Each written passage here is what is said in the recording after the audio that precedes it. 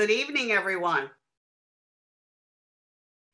Welcome to tonight's Fairfax County Democratic Committee National Affairs Healthcare Forum that we have entitled Oh Say Can You See, USPHC. USPHC is our acronym for Universal Single Payer Healthcare. This forum is being recorded. And it's extremely gratifying to see such a large audience uh, attending tonight and know how many we have that have registered and will attend to focus on this critical issue. I'm Sandra Klassen, the forum moderator and FCDC National Affairs Committee chair. Our national affairs forums examine matters of national importance for the purpose of informing, engaging, and inspiring citizen action. I first want to recognize and thank all of those who contributed to organizing and promoting this forum, including my National Affairs Committee colleagues and the many Democratic Committee co-sponsors from across the Commonwealth of Virginia, including the Democratic Committees of Arlington County, Bristol, Virginia, Brunswick County, Culpeper County, Falls Church City, Floyd County, Franklin County, Hampton, Harrisonburg, Loudoun County, Lunenburg County, Madison County, Manassas and Manassas Park cities, New Kent County, Newport News City, Norfolk City, Northampton County, Nottoway County, Prince Edward, Prince George County, Prince William County, and Roanoke County. A good amount of Democratic committees. Uh, we also want to thank our FCDC Executive Director, Jack Kiraly, who's been managing our technology. And finally, Politico cartoonist Matt Wuerker, who generously granted us permission to use his cartoon for our promotional graphic. Our program will be divided into two parts. In part one, our eight eminent panelists will deliver presentations laying out their ideas for the best route to move the United States from where we are now to a destination of universal healthcare coverage through single payer Medicare for all or other avenues. During their remarks, I encourage all forum attendees to write your questions for the respective speakers in the webinar Q&A box, not the chat box. We will only be monitoring the Q&A box, not the chat or not the raised hand emojis. Please specify to which speaker or speakers you are directing your questions. When the speakers conclude their formal remarks, we will proceed to part two, the Q&A, when I will ask a National Affairs Committee colleague to read some of your questions to the speakers from both the Q&A box and from those you submitted ahead in the form you received with your registration acknowledgement email. Okay, let's begin. The United States is a wealthy nation with a broken healthcare system. Among many similar reports, a Commonwealth Fund report ranked the US last out of six industrialized countries in health system performance, which included measures on quality, access, efficiency, equity of care, and healthy lives. Access and equity measures are affected by the lack of universal health care. On life expectancy, the US ranked 50th and below France, Canada, the UK, and the European Union average, according to the CIA World Factbook. Infant mortality is also higher in the US than in, in those countries and more. A report on infant mortality by the nonprofit Save the Children showed that the US tied for next to last among industrialized countries. Yet, the World Health Organization has ranked the US healthcare system first in the world in cost. We spend 17% of GDP on healthcare consumption compared to 9 to 11% of GDP in other wealthy countries that have far superior health outcomes than we do. We remain the only major industrial country without universal healthcare. Much of this expense is due to extremely high administrative costs because of the complexity of our multi-payer system. This complexity, complexity not only results in high costs, but also directly affects care. The COVID 19 pandemic glaringly exposed numerous deficiencies of our fragmented systems of health insurance, public health, drug and diagnostic testing development, approval, manufacturing and distribution, and health information. These problems left us vulnerable and have exacerbated the disastrous effects of the pandemic. The pandemic clearly revealed another threat to access the dependence on employer based health insurance for much of the population. Sudden unemployment forced millions of Americans to lose their employer based health insurance at exactly the time that they needed it most. Furthermore, the millions of people without health insurance were among the most vulnerable to the pandemic. The vast inequality of incomes and wealth in the US directly affects access and quality of care with disproportionate impact on the poor and communities of color. Throughout the pandemic, our government has had to scurry to enact temporary legislation to remediate these systemic flaws. Data collected from the onset of the pandemic has also revealed that countries with universal single payer healthcare actually experience less severe cases and fewer deaths than those without. The pandemic has exposed the very limited resilience of the American system. We lack the national framework capacity that a universal healthcare system would provide to organize responses to major healthcare events at home and to manage infectious disease threats and health security globally. On a positive note, I'm pleased to report that the 2020 and 2016 Virginia Democratic Conventions endorsed as Virginia Democratic Party policy the establishment of a universal single payer healthcare system, such as Medicare for All. And polls and studies conducted across our country reveal continue to reveal actually that the majority of the public support implementing a universal healthcare system with substantial numbers preferring a single payer approach like Medicare for all. It's time for the United States to establish a system of universal health care. And our eight distinguished panelists are experts who can show us the way. To begin the discussion, it is my privilege to introduce Northern Virginia Congressman Don Beyer, first elected to Virginia's 8th District in 2014. He serves on the House Ways and Means Committee and the Science, Space, and Technology Committee as chair of the Subcommittee on Space and Aeronautics. He was also recently named chair of the bicameral bipartisan Joint Economic Committee and is a member also of the Progressive Congressional Progressive Caucus. Congressman Beyer is also a co-sponsor of HR 7, 1976, the 2021 Medicare for All Act. Congressman Beyer, we are very eager to hear your ideas. Thank you, Sandra, very much. Thank you all for being here. And Sandra, thank you so much for working so diligently, conscientiously for many weeks or months to put this together. Um, your leadership on policy for FCDC and really for the country is, is really wonderful, and, and, I'm very grateful. And I'm honored to share the stage with uh, my wonderful colleagues, Bobby Scott and Pramila Jayapal, and with a world pan- panel of world-class experts. Um, Bobby Scott, as you know, chairs the House Committee on Education and Labor. Uh, one of the, the great national leaders. And Pramila Jayapal, although she's been there two years fewer than I, um, leads the Progressive Caucus with um, a great deal of uh, clarity and values and strength, and um, a very central player right now in all this going on with our president and our country. And we're here to talk today about universal health care, and I can't think of a better topic because it's something so desperately needed and long overdue. And Sandra, I am proud to be a co sponsor of Congresswoman Jayapal's Medicare for All Act of 2021. When Pramila took over the leadership of that effort, the bill was more of an idea on paper. But she and her team have done a fantastic job turning it into something very concrete, clear legislative language, something that we can implement. And I'm proud of her leadership and dedication for making that happen. I've been a supporter of universal health care for a long, long time. I'm an Army brat, so I grew up with healthcare um, through the military and just always expected it would be there. Um, but I've really been a supporter of a universal since I got to serve with um, Senator Bobby Scott in the US Senate, starting back in January 1990.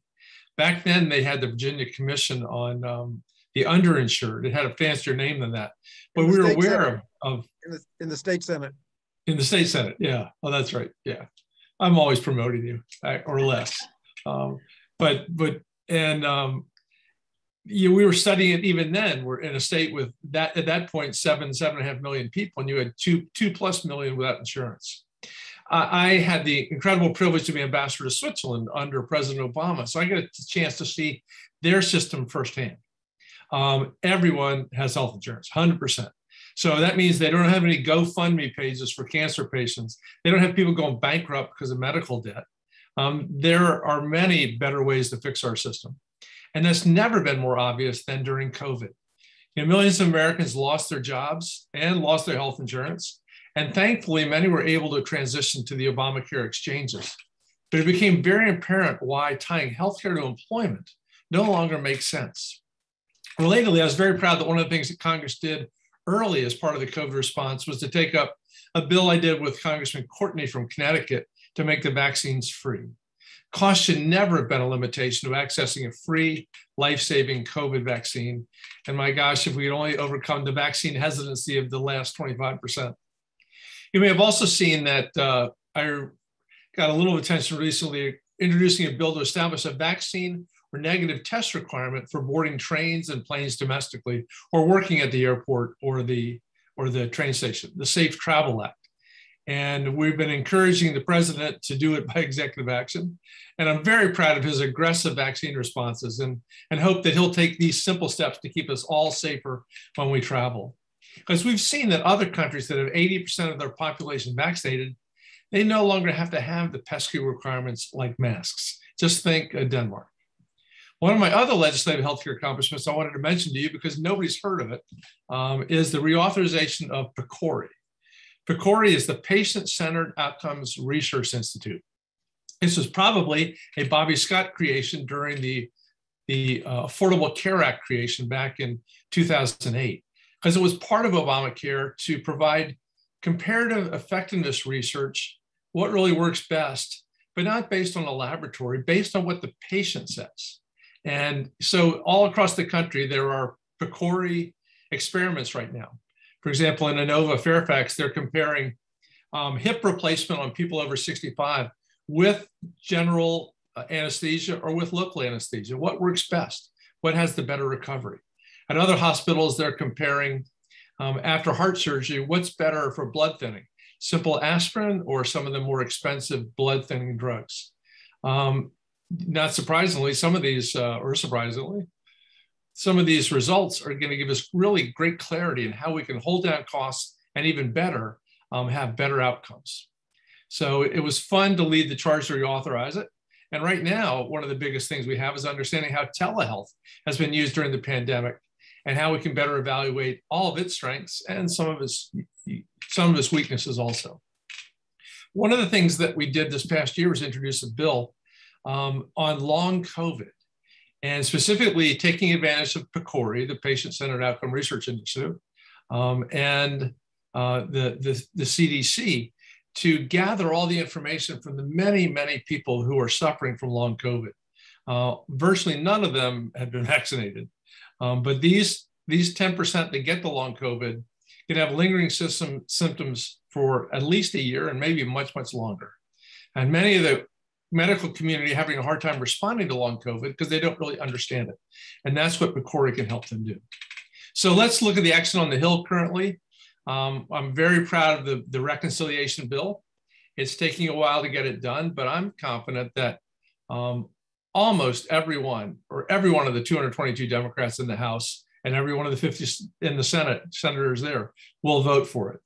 Four key pieces dental, vision, and hearing care for Medicare.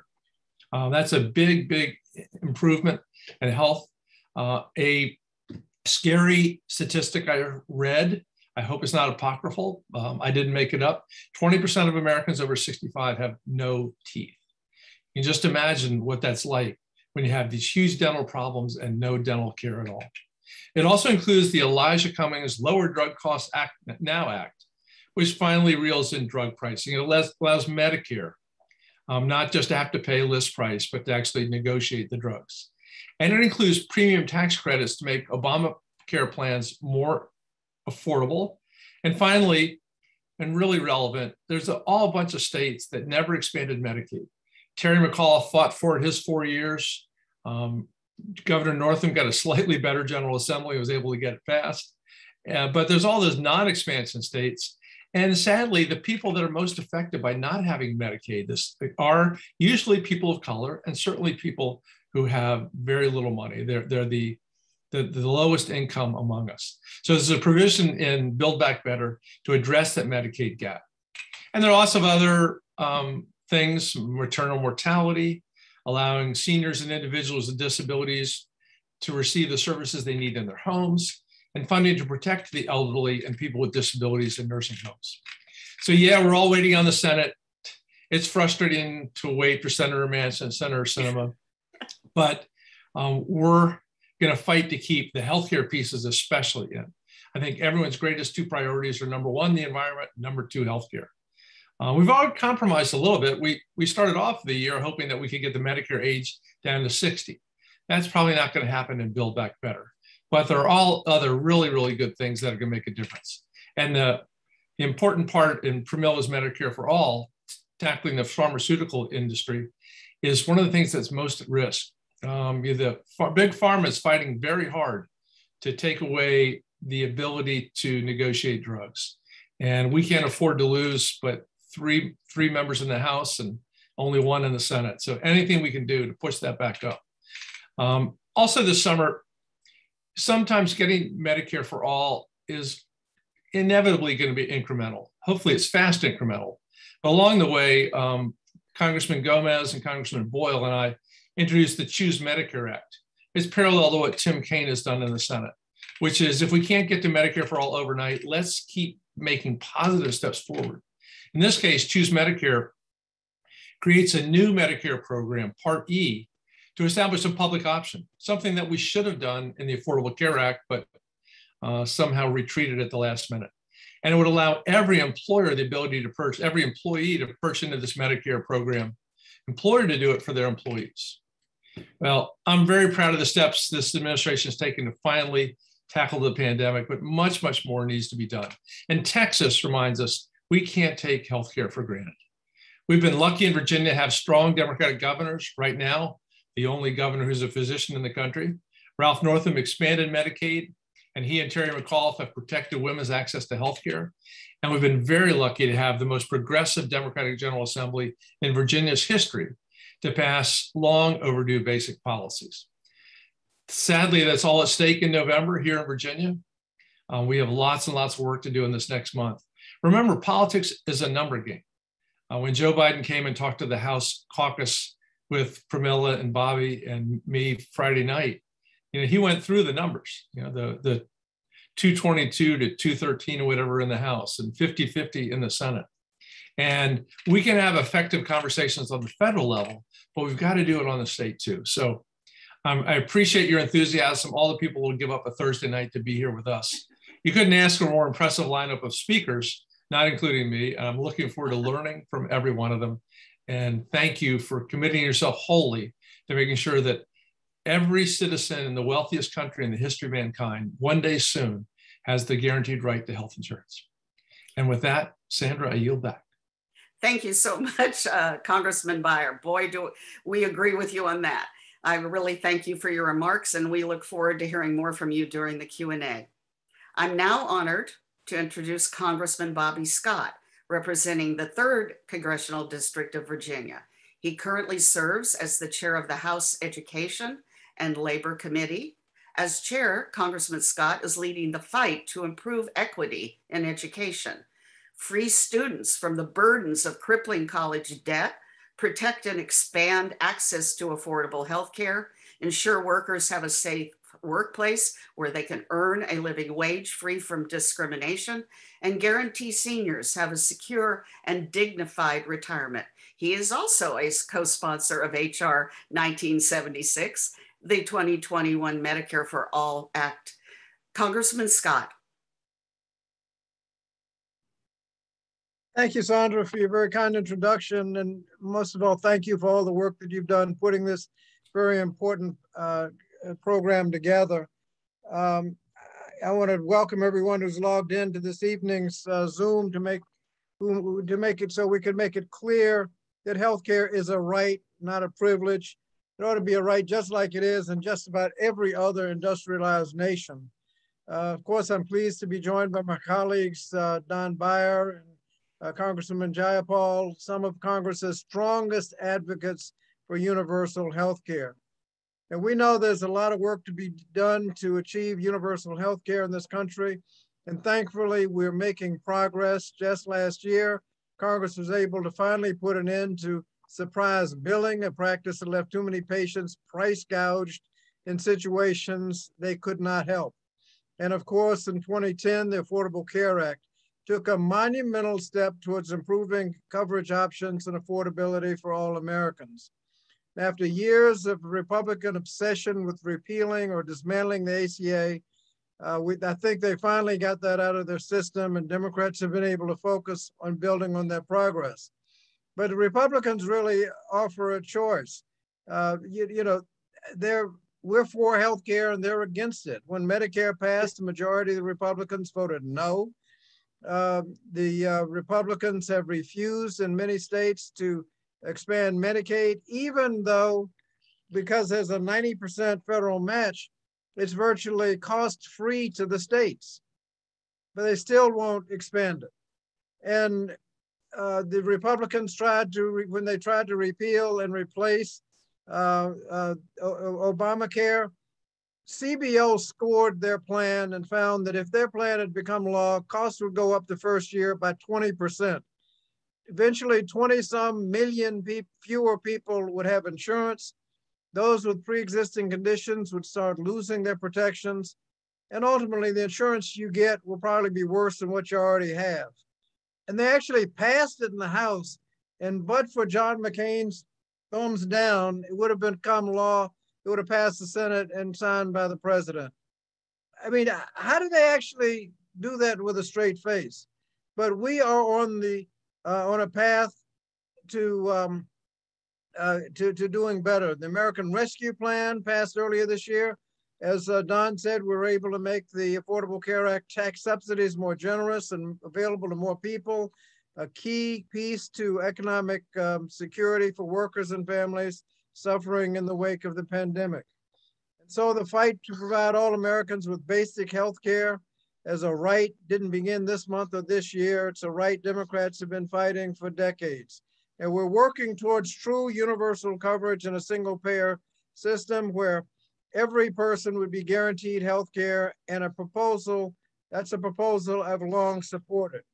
But we can do this gradually. One, one of the ways we can continue making progress is continue to reduce the maximum percentage. We reduced from about 9.5% to 8.5% in the last year. The maximum percentage you have to pay for your um, for your health care under under the Affordable Care Act.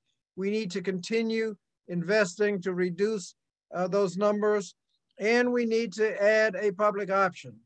Uh, that's uh, that's a very viable option. When we were doing Obamacare, it passed the House and was within one vote in the Senate. Uh, it would have, uh, I think, I think we could have adopted it in conference, but Ted Kennedy died, was replaced um, by uh, Senator Brown, and we couldn't go back to the Senate in a, in in, uh, in, in a conference committee, and so we were stuck with a bill without um, the public option. But it was interesting when the public option uh, was uh, uh, was proposed. A Republican senator, I won't name Senator Grassley from Iowa by name, but he said that the um, uh, it was unfair competition. Well, what could he mean by that? Well, basically, what he meant was that if you had a public option, it would be a lower cost and a better product. And that's unfair. I don't know unfair to who, but if that's his attitude, why don't we just vote and see who's who's who's on what side? But the reason it's unfair, quite frankly, is that the public option, like uh, would, would not would be at a government administrative rate like Medicare, spending about 3% on administrative costs, whereas we had to pass a law to keep the private uh, uh, the private premiums down to 20% administrative. They wanted to charge more than that. We said you can't charge more than 20% for overhead, dividends, profits, high executive salaries. You had to live with 20%. And so that is unfair because they're, they're saddled trying to compete with a 20% drag. The public option would probably be on, on, on 3%. But that's why the public option uh, makes the most sense. Uh, and we could gradually, because it makes most sense, because it is a lower cost and better product, it would gradually become a single payer because everybody would be uh, would be choosing it. Um, we've also uh, need to continue working uh, on reconciliation. There are a lot of, as uh, Don mentioned, there are a lot of um, uh, proposals in the Build Back Better plan, including uh, improving Medicare to include vision, hearing, and dental. These are quality of life issues that um, everybody ought to have access to. Expand subsidies to make coverage more affordable. We're going to make um, improve and get to try to get down as close gradually down to zero. So you'll have um, uh, the uh, um, universal coverage at, at no cost. Other initiatives like those who rely on home and community-based services uh, will get enhanced support. And finally, as Don mentioned, uh, I don't have to go into detail, lower the cost of prescriptive drugs. These investments will, will make will mean we'll be making meaningful process and we'll be on a clear path to a single payer universal coverage. Now we know our work is far from done. There are too many people struggling to access uh, their healthcare needs, but with continued progress, we can eventually achieve that goal. And with that in mind, I look forward to the panel of distinguished experts that you have um, assembled uh, to discuss this important issue. And I want to thank you again for joining, for, for convening this important issue and look forward to my colleague, I just see her popped up, uh, Congresswoman uh, Jayapal. I look forward to her comments and the panel. And thank you so much for putting this together. Thank you so much, Congressman Scott. We really appreciate your comments. Well, Congresswoman Pramila Jayapal has joined us. And on behalf of my fellow Virginians, I want to welcome and thank the Congresswoman for visiting us virtually in the Commonwealth of Virginia. Uh, Congresswoman Jayapal is serving her third term representing Washington's 7th District. Among her many roles, she's a member of the House Judiciary Committee, where she serves as vice chair of the Subcommittee on Antitrust, Commercial, and Administrative Law. She also serves on the House Education and Labor and Budget Committees and is the chair of the Congressional Progressive Caucus. Prior to serving elected office, Congresswoman Jayapal spent 20 years working internationally and domestically in global public health and development. She has worked extensively on healthcare issues as the lead sponsor of the Medicare for All bill in the House, H.R. 1976, Congresswoman Jayapal, welcome and please share your remarks with us. Thank you so much. And I love being with you virtually, uh, the Commonwealth of Virginia, and of course, with my distinguished colleagues, the chairman of the Education and Labor Committee, which I'm so proud to be on and serve with Chairman Bobby Scott, and also my colleague, Don Beyer, who has been a wonderful Progressive Caucus member and uh, a tremendous leader in Congress. So I want to thank you all for having me tonight.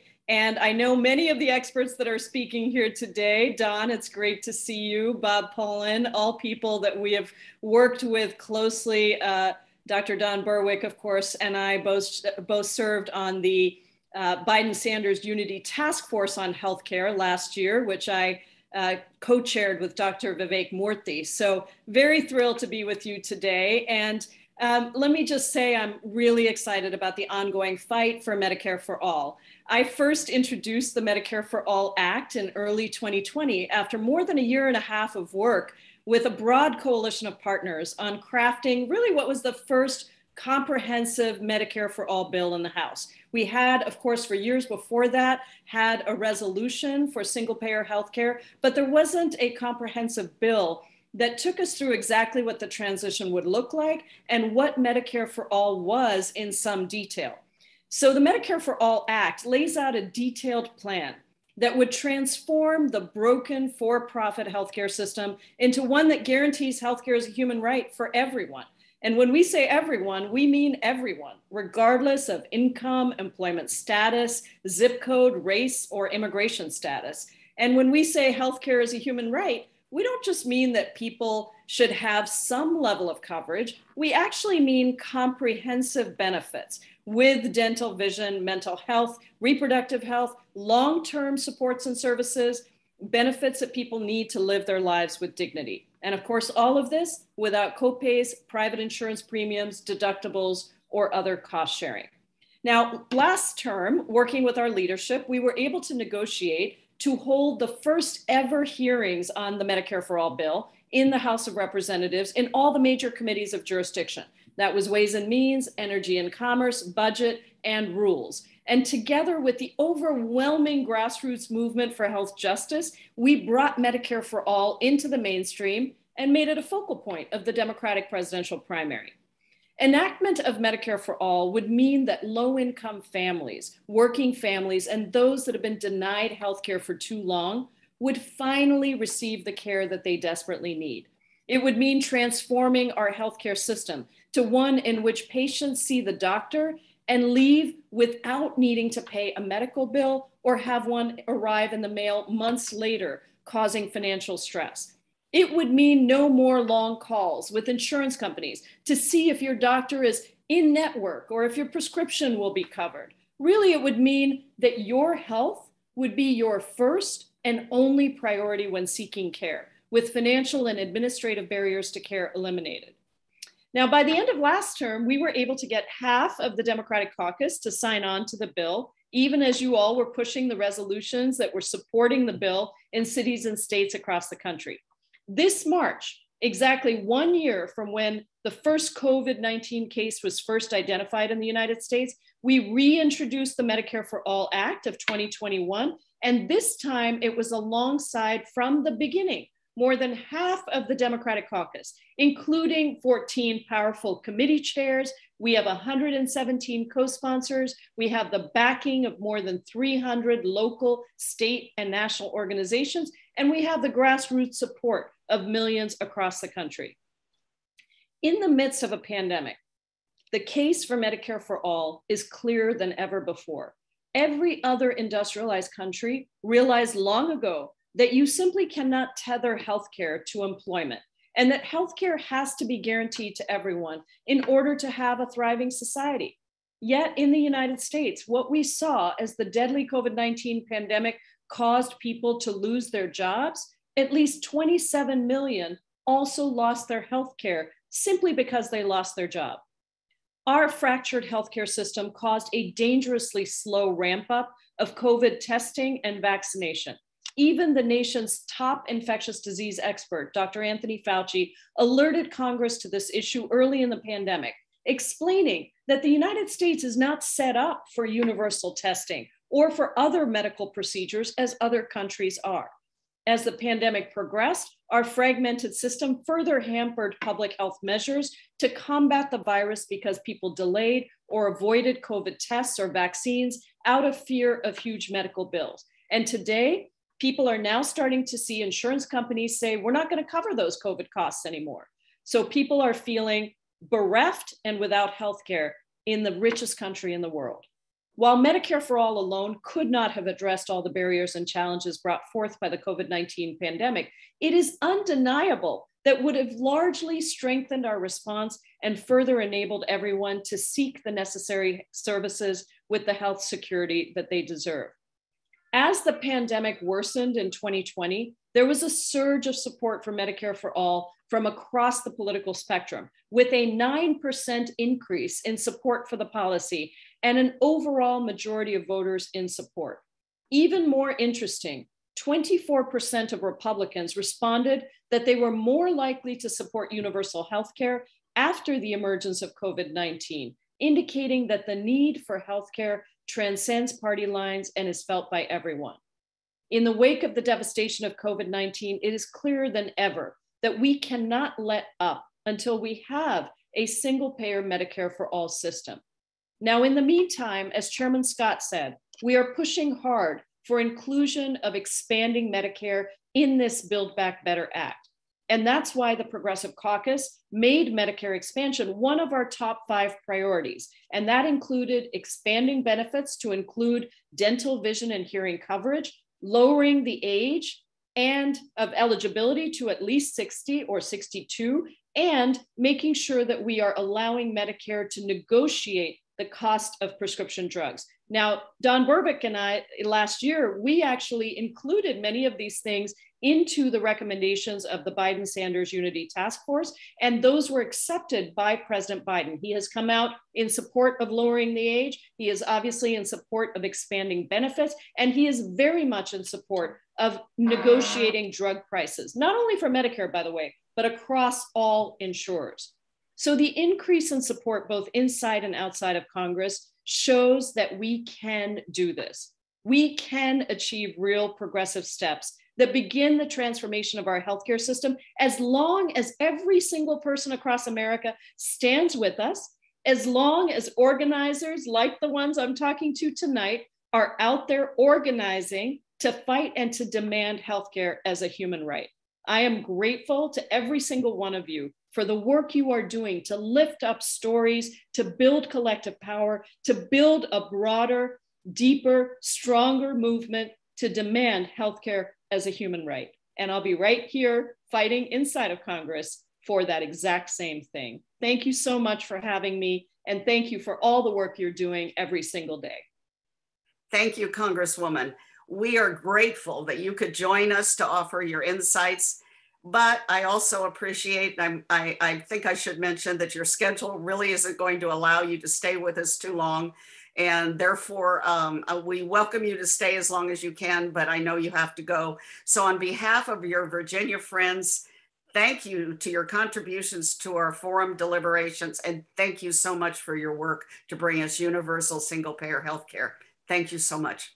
Thank you. Thanks to the Commonwealth. yes, we appreciate you very much. Okay. Um, now let's see here. Let me move back up to um, our next speaker. Uh, okay, it is now with great pleasure that I introduce our next speaker, Dr. Donald Berwick. Dr. Berwick is one of the nation's leading authorities on healthcare quality and improvement. He is uh, President Emeritus and Senior Fellow at the Institute for Health Improvement, a former administrator of the Centers for Medicare and Medicaid Services appointed by President Obama, and lecturer in healthcare policy in the Department of Healthcare Policy at Harvard Medical Schools. Among many other roles, he has served as a member of the staffs of Boston Children's Hospital Medical Center and Massachusetts General Hospital. He has also served on the board of trustees of the American Hospital Association and chair of the National Advisory Council of the Agency for Healthcare Research and Quality, is an elected member of the National Academy of Medicine and served on President Clinton's Advisory Commission on Consumer Protection and Quality in the Healthcare Industry. He is the recipient of numerous awards, the author or co author of over 200 scientific articles and six books. Please welcome Dr. Berwick. Dr. Berwick, over to you. Thank you, Ms. Klassen. I really am delighted to be here and very honored to be in the company that you've pulled together here. I'll be brief, but uh, I just want to thank you for your, your leadership. And a tip of the hat, please, to Representative um, Bobby Scott and uh, Don Beyer and my friend and hero, heroine, uh, Pramila Jayapal. Getting to work with Representative Jayapal was one of the most inspiring experiences I've had in contact with a public servant. Uh, we need people of immense courage today because the problems are so hard and the the, the battle's so long, and we have one uh, in Representative Jayapal. I just uh, admire her deeply. We're, we, owe, we owe her a lot. Uh, I should confess that I have been a fan of single payer healthcare since about 2013. I ran for governor in Massachusetts. After I left CMS, I was so impressed with, with the opportunity to run Medicare and Medicaid, I felt we finally had an answer available. And I proposed single payer healthcare in the state of Massachusetts as a candidate. I did not win, uh, but the receptivity was already there. And I think thanks to the leadership of people like we have, the representatives we have in this call, uh, there is a growing sense that something real, really important is possible here. I don't regard single payer care or Medicare for all, or whatever your favorite term is, as a religion. I, I don't think it has any ethical uh, heft. It's it's not a good or bad thing, only with respect to what it gets done, because it's it's not the point. The point is to improve in this country. And there are four goals that we need to achieve. They are universality.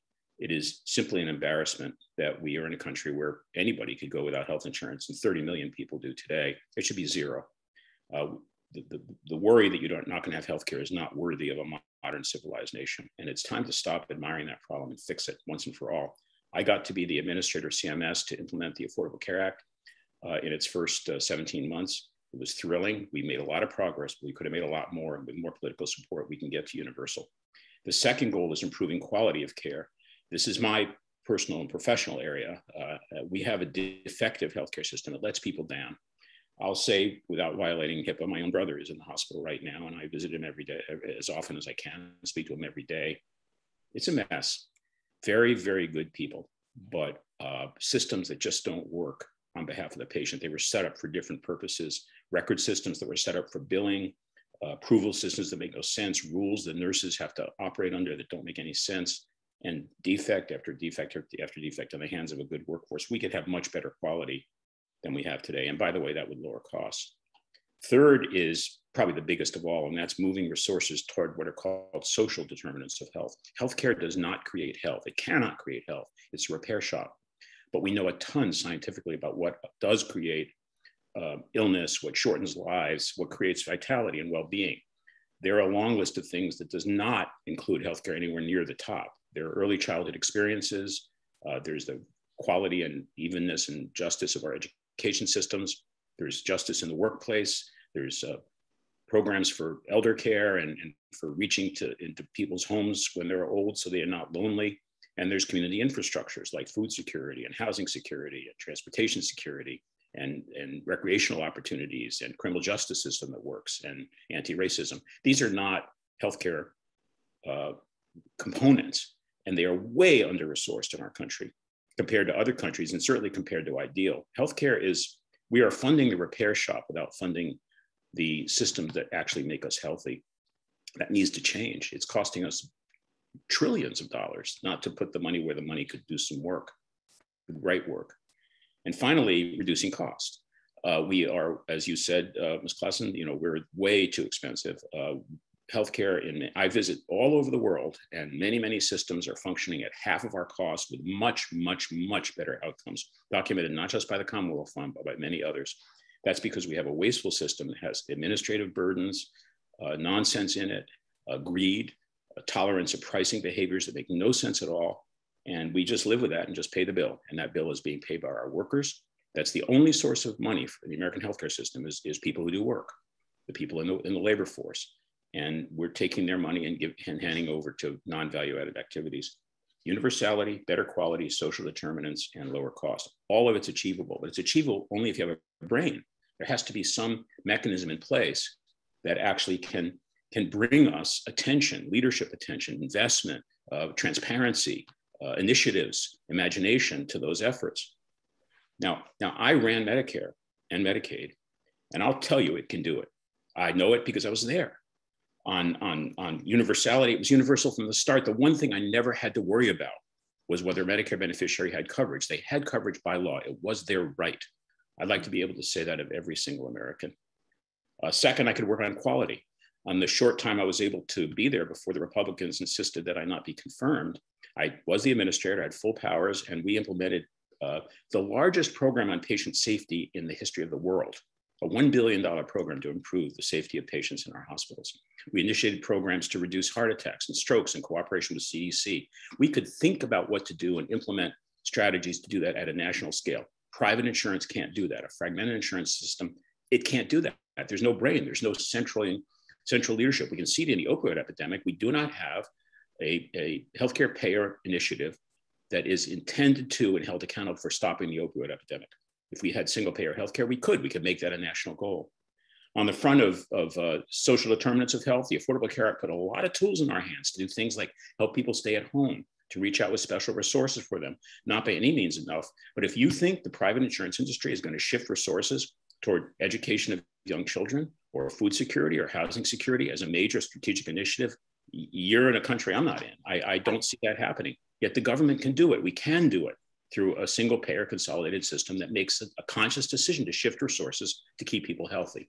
And finally, reducing cost. Medicare cost growth has been slower than any other part of the healthcare payment economy. I believe Judy Feder may connect, may correct me. But beyond that, I can see the waste. I can see what we can do about it. And I know that we could reduce our costs. I would target 15% of GDP. It's a perfectly agreeable amount that this country get by with. It'll never happen in a profit driven uh, coverage system. It has to be done with a plan, with an intention to do that. I work in countries all over the world which have a brain with respect to managing healthcare. They make decisions. I'm working with the country of Singapore, which is launching a massive national effort to finally get diabetes under control. I work with the UK, as was held against me when I was when I was uh, uh, uh administrator of CMS. But I can see, for all the faults, the integrated systems developing in the UK and doing far better work on well-being in the nation than we can in this country. Um, we could do it. We just have to decide to do it and the kind of leadership we need to recruit is going to have to be very strong. People like the congressman, people on the on the call today, who finally say it's time. It's time to stop wasting the money. It's time to stop tolerating the quality effects. It's time to stop stop letting greed run the system. It's time to stop investing where health can be found, and it's time to promise everybody that they can have health care. Um, is Medicare perfect? Absolutely not. Believe me, I know more than anybody on this screen about the problems of running a public health system. It's not perfect but I'll take it in a minute over the chaotic, costly, uh, exclusive system that we have today. Thanks a lot for the chance to comment, uh, Sandy. Thank you so much, Dr. Berwick. I'm again eager to hear when we get to Q&A uh, further of your comments. Um, our next speaker is Professor Robert Pollin, uh, whom I am delighted to introduce. Dr. Uh, Professor Pollin is the Distinguished University Professor of Economics and co-director of the Political Economy Research Institute at the University of Massachusetts Amherst. He has worked extensively on the economics of single-payer healthcare in the United States. In May 2017, he co-authored Economic Analysis of the Healthy California Single-Payer Healthcare Proposal. And in November 2018, he co-authored economic analysis of Medicare for All, which was right is widely regarded as the seminal work on the topic. He has also worked as, a consultant for the US Department of Energy, the International Labor Organization, the United Nations Industrial Development Organization, and numerous non-governmental organizations in several countries and in the United States and municipalities on building high employment green economies, on creating living wage statutes, and on financial regulatory policies. Professor Pollin, please proceed. Uh, Thank you very much, uh, Sandra. I'm really delighted to be here. Uh, I am uh, really appreciated hearing the comments of our members of Congress. Don Berwick is somebody that I worked uh, pretty closely with when we did our study in 2018 that was requested by Senator Sanders. Um, Don Berwick gave us some uh, very constructive criticisms, and if you're interested, they're all posted online along with comments from many, many other people. Um, so I'm going to just give some uh, basic economic uh, perspectives. And the fact of the matter is, the economics of establishing a single payer healthcare system in the United States, in its basics, is actually simple. It's quite simple, the basics. So let's just say i am going to reiterate a lot of what we've already heard and maybe do it in a way uh, more economicsy, more numbers focused. But okay, uh, Medicare for all, or again, whatever you want to call it, uh, Medicare for all can deliver good quality care for all, everyone in the United States, all residents, and it can do it while reducing overall healthcare costs. Uh, by reducing overall healthcare costs in the range of 10% or more. 10% actually is a low end estimate, and I'll explain that more in just a second. If we even go with the 10% number, the low end estimate of reduced costs, you know, eh, uh, what that means on average is that everybody who's spending money on healthcare today every individual, every family, and every business will spend 10% less, and everyone will get better coverage. Uh, nobody will face uh, financial stress, financial ruin. And of course, during COVID, as, as other people have already uh, described so well, uh, this was incredibly stressful period for people facing uh, job layoffs, uh, loss of health insurance, and the threat of uh, getting uh, infected with COVID. Um, all of that, at least the financial features of that, can be utterly eliminated through the implementation of some kind of uh, Medicare for All system. Now, all of those things sound like very, very strong assertions uh, that um, maybe in an academic type discussion, we would say, well, you need to qualify this. How do you know any of this is really true? And I would love to be able to say that, that you know, the 200 page study that uh, Sandra referred to, I appreciate the reference. I would love to be able to say that everything in my research was so original and I came up with all kinds of new findings that no one had ever thought of before, and that I demonstrated how we can achieve universal good quality coverage at lower cost. The fact of the matter is there was not a single original thing in my entire study. Uh, basically, all we did was review the evidence that is before our eyes, that is obvious, uh, and has actually been referred to now multiple times by other people. That is, uh, when we compare the United States healthcare system with that of other advanced countries, and I should say other advanced capitalist countries. So we're not talking about uh, transitioning to a socialist economy uh, by implementing Medicare for all. We're talking about creating a system of universal health care that delivers care at uh, high quality and lower cost specifically. So in the United States, we're spending on average about $11,000 per person. That comes to about uh, 17% of GDP. So almost 20% of all the economic activity in this country is targeted at delivering healthcare. That's $3.3 trillion. Uh, the other advanced economies, on average, we spend about $11,000 per person. They spend on average 5,700 per person.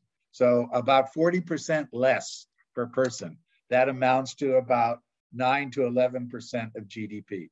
Now, even if we take the high end number, like Germany at 11% of GDP, and, and compare that with our 17% of GDP, that's six percentage points of GDP, of gross domestic product, of overall economic activity. In the United States, that six percentage points of economic activity is equal to $1.3 trillion. So even by this very simple, modest metric, we are wasting $1.3 trillion every year uh, by having a wasteful healthcare system that does not in turn even deliver uh, well-being. And we've already heard evidence on that. I'll just refer briefly. Uh, you know, measuring medically preventable deaths, United States ranks 34th in the world. Our medically preventable deaths are about 30% higher than Germany and the UK. They're 80% higher than France. Okay, now there are, as, as uh, Dr. Berwick went through very well, uh, there are reasons for our poor performance overall in terms of health outcomes that go beyond healthcare coverage, but healthcare coverage is a significant part of the overall story.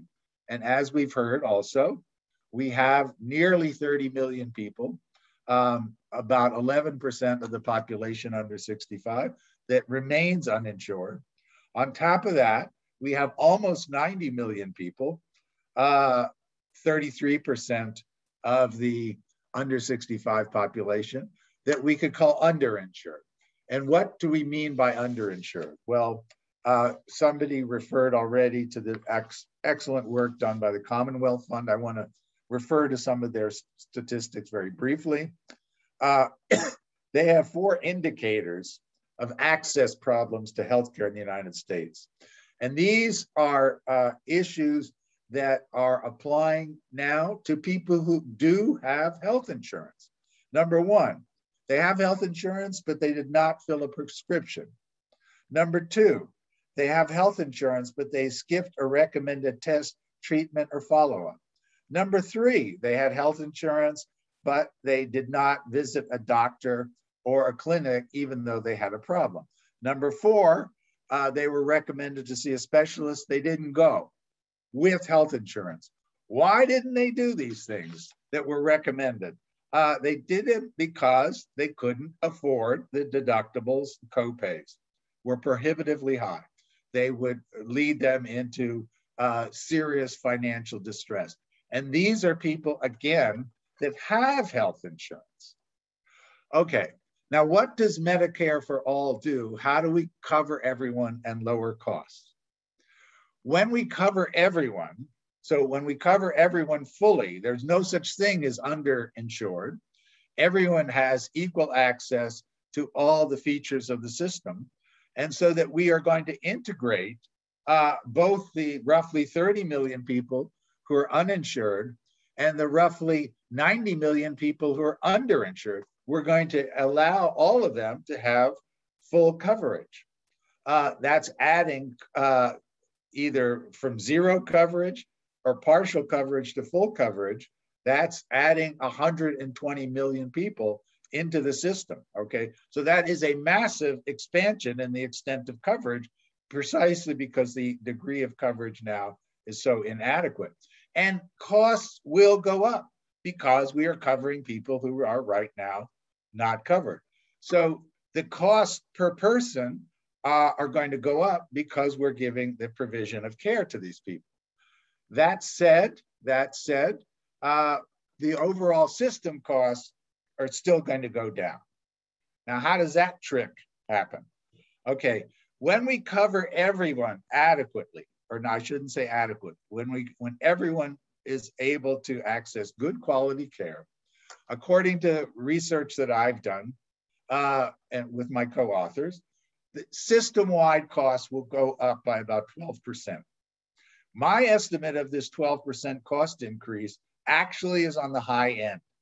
It's on the, if you look at the research literature, uh, uh, other researchers, including uh, the researchers at the Mercatus Institute, uh, the Koch brothers founded institute at George Mason University, their number for the increased cost is actually lower than mine. And I, I deliberately estimated a high end figure because I certainly didn't want to underestimate how much it would cost to give good coverage to everybody. So we're going to increase costs per person by uh, putting everybody into the system with good quality care. Nevertheless, we estimate that the overall system costs, as I said at the beginning, are going to go down 10% roughly. And why is that? Because, as we've just heard uh, in uh, previous speakers, we have uh, huge sources of wasteful spending in the system. The two biggest ones are uh, number one, administrative costs. Uh, with the private health insurance system, the costs of contracting, claims processing, credentialing providers, payment validation uh, are driving up the costs in, in, in addition to the role of profitability and the role of advertising in the private health insurance system, such that the hot private insurers spend about 12% of overall system costs on it, what they call administration, whereas existing Medicare spends 2%. That is a 10% differential in a $3 trillion system. That's $300 billion right there. Now, I did notice in the chat at some point somebody said, well, the Medicare system administrative structure is inefficient. Uh, of course, there are inefficiencies there, and of course, they can be improved.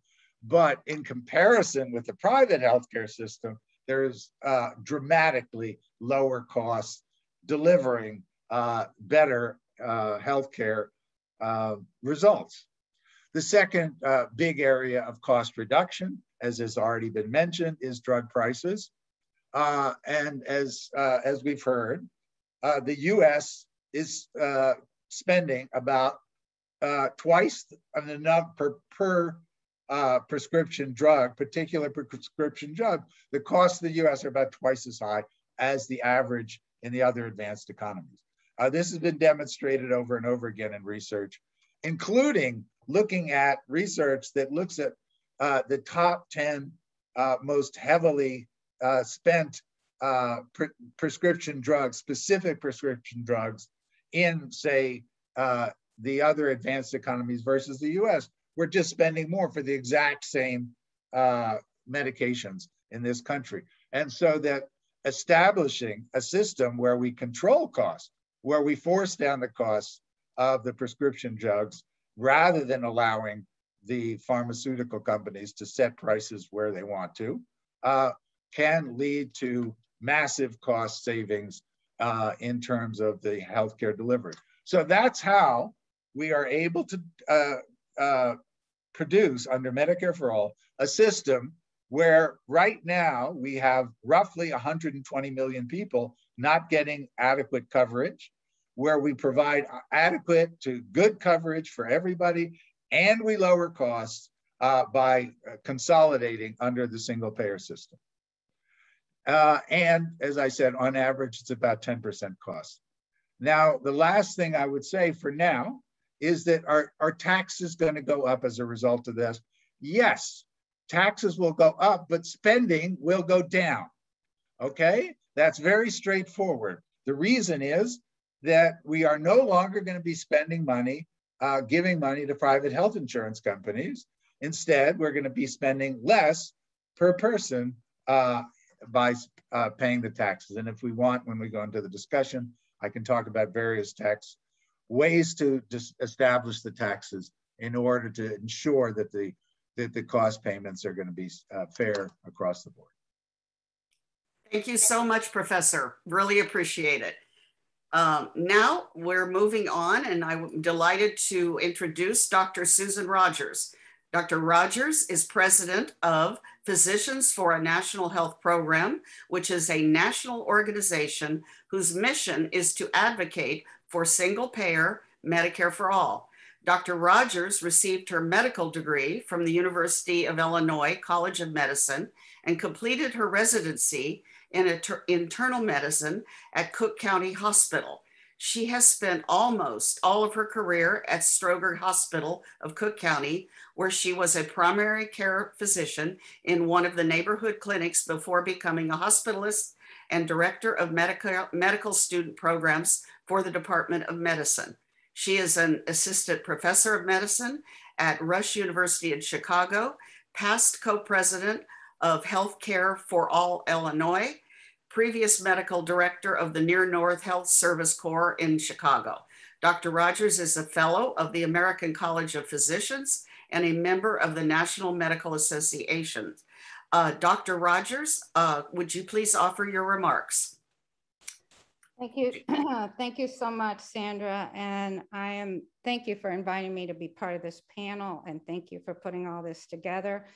I'm quite honored to be here included in this panel. And I wanna say that I am not a policy expert. I have been a clinician almost for my entire career, despite having some administrative uh, responsibilities. And working at Cook County Hospital for almost all of that time, I have seen firsthand the disastrous human toll that gets the human cost that gets paid because of people who don't because of people because people don't have insurance and cannot access care in a timely way now i we i like to share my thoughts about why we need medicare for all because this is a system that does not make certain that all residents have access. And that is the whole purpose of a Medicare for all. We all have to have access. We need preventive care when we're healthy and curative care when we're sick. Now, despite spending two to three times more than every other industrialized nation, we have the worst outcomes of many of the parameters that the World Health Organization monitors. Our life expectancy is worse. Our infant and maternal mortality rates resemble those of a third world country rather than the industrialized nations that we compare ourselves to. And even if we compare socioeconomic groups, wealthier people live longer in Europe and industrialized nations than wealthier people here in the United States. Poor people in industrialized nations live longer than poor people who live here. So everyone, regardless of their socioeconomic level, would benefit from Medicare for all system. So these outcomes are due to our healthcare system here that is motivated by profit rather than motivating to improve everyone's care. Now, health insurance, whether it is private health insurance from an employer or government subsidized insurance through the exchange or Medicaid or Medicare, it is there to provide access to care to help prevent financial distress and bankruptcy. But our current system doesn't do these things for most people.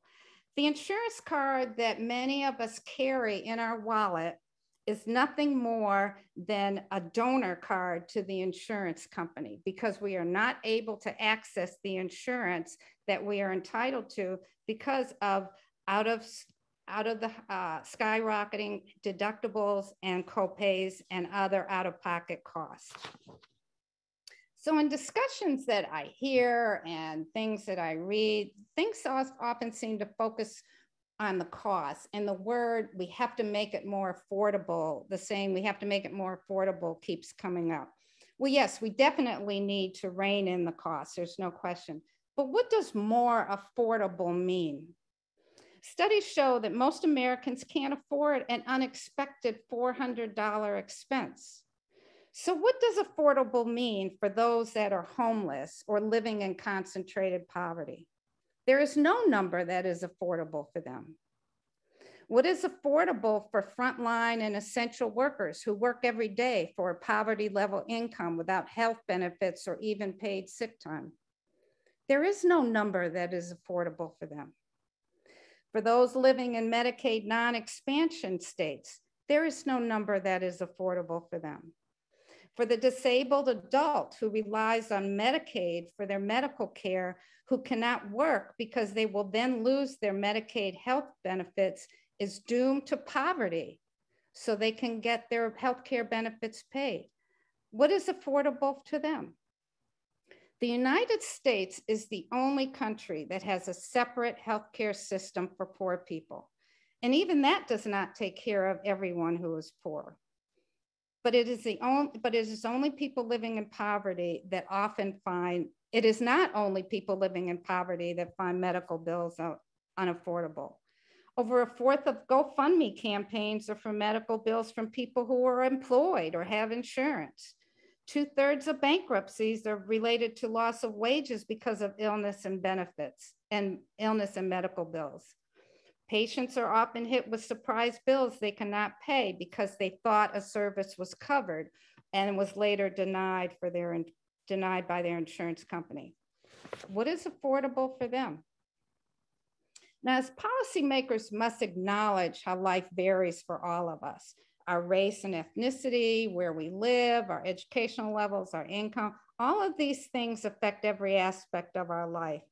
And with attempts to fix our dysfunctional healthcare system, we need to acknowledge these differences in what people have and don't have, what they need and don't need, while also acknowledging the similarities because there are things that we all need, like healthcare. We hear public health announcements to suggest people talk to their doctor about the vaccine. But we have to acknowledge that many people do not have a doctor to talk to. We must acknowledge that many people do not have a car to enable them to go through a drive through vaccine or testing site. We must acknowledge that many neighborhoods do not have a hospital or even a pharmacy. Yet policies to improve healthcare access and service are often proposed without acknowledging or addressing these inequities. We can't make policies that treat groups as if they don't exist, as if they are invisible, but that is what clearly happens when we talk about just make it more affordable. We have to make healthcare available to everyone. We must now acknowledge those who may still have difficulties when proposing solutions.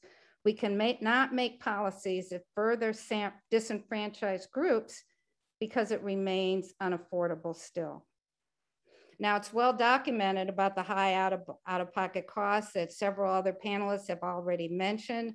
There are drugs that cost thousands of dollars a month, not because of a need of pharma to recoup research dollars that they never even spent because the NIH already paid for it with our tax dollars, but they cost that much because big pharma is allowed to do that.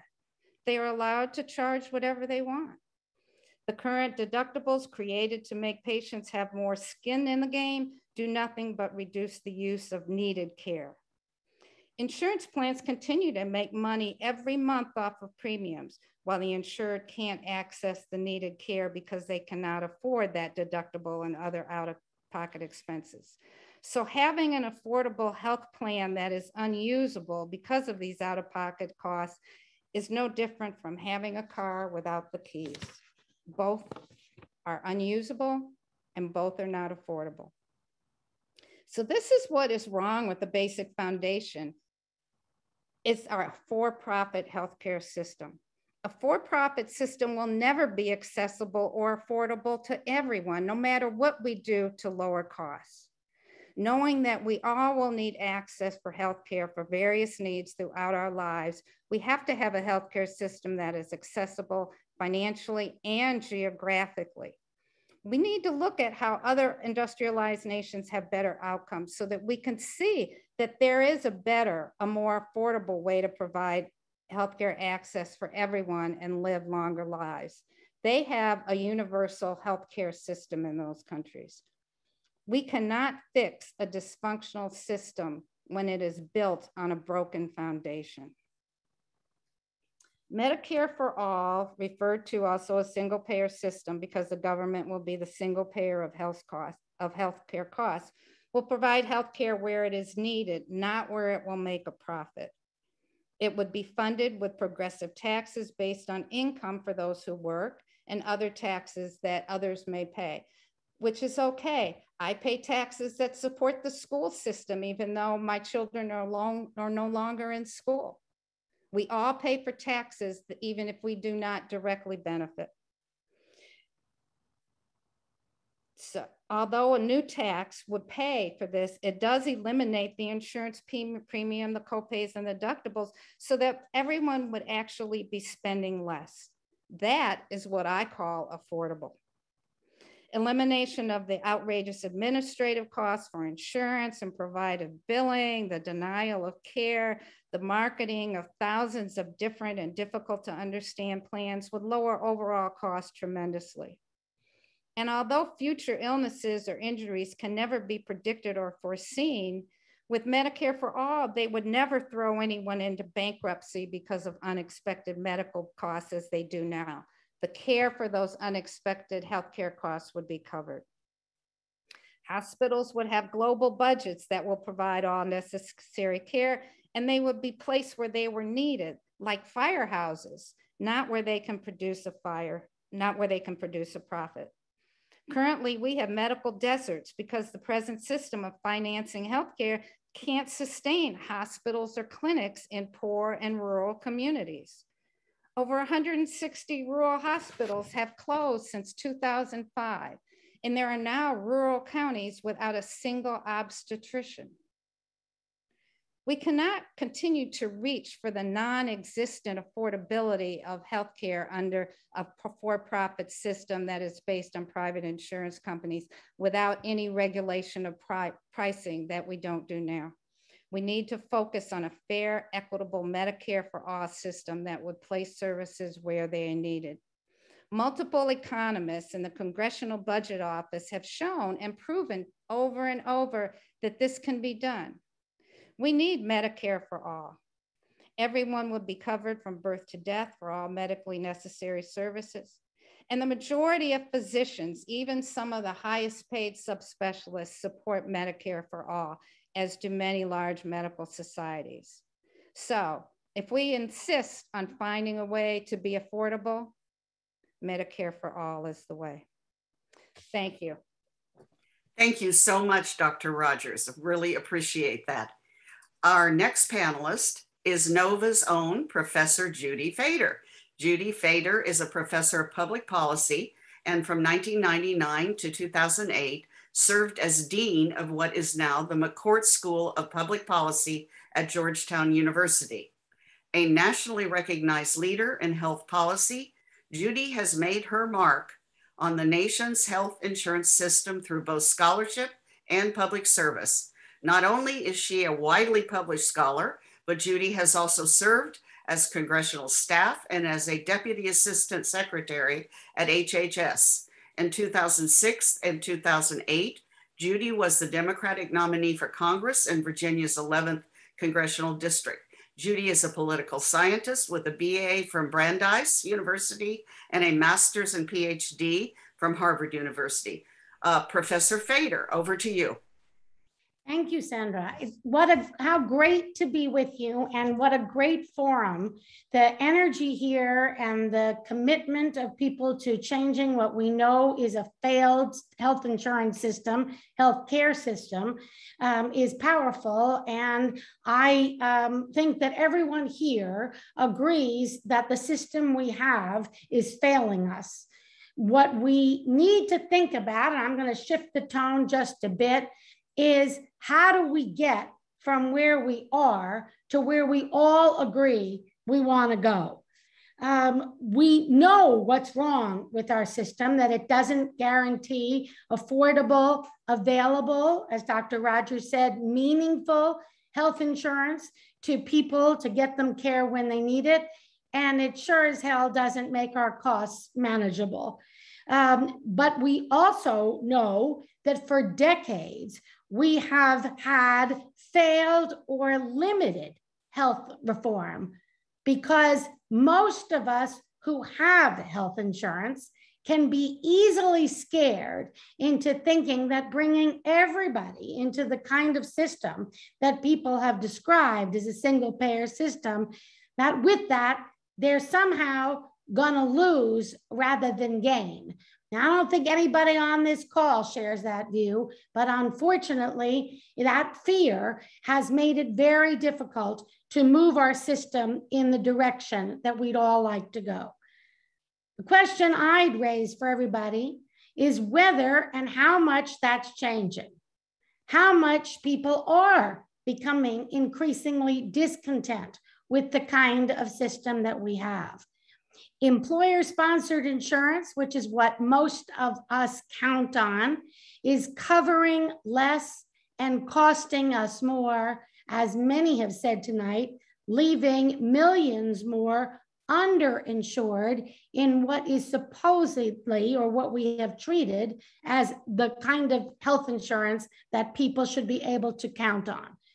And consumers of all income levels are increasingly incensed with unacceptable drug costs, surprise bills, and complicated insurance choices that essentially leave us with no choice of the doctor that we would like to have when we are ill. Now, I don't think that the opposition to, to change, despite this growing discontent, has gone away. But I do think that we can move right now in this administration to build on, use, and mobilize that discontent, to build a government managed system until or even while we have multiple payers in the system.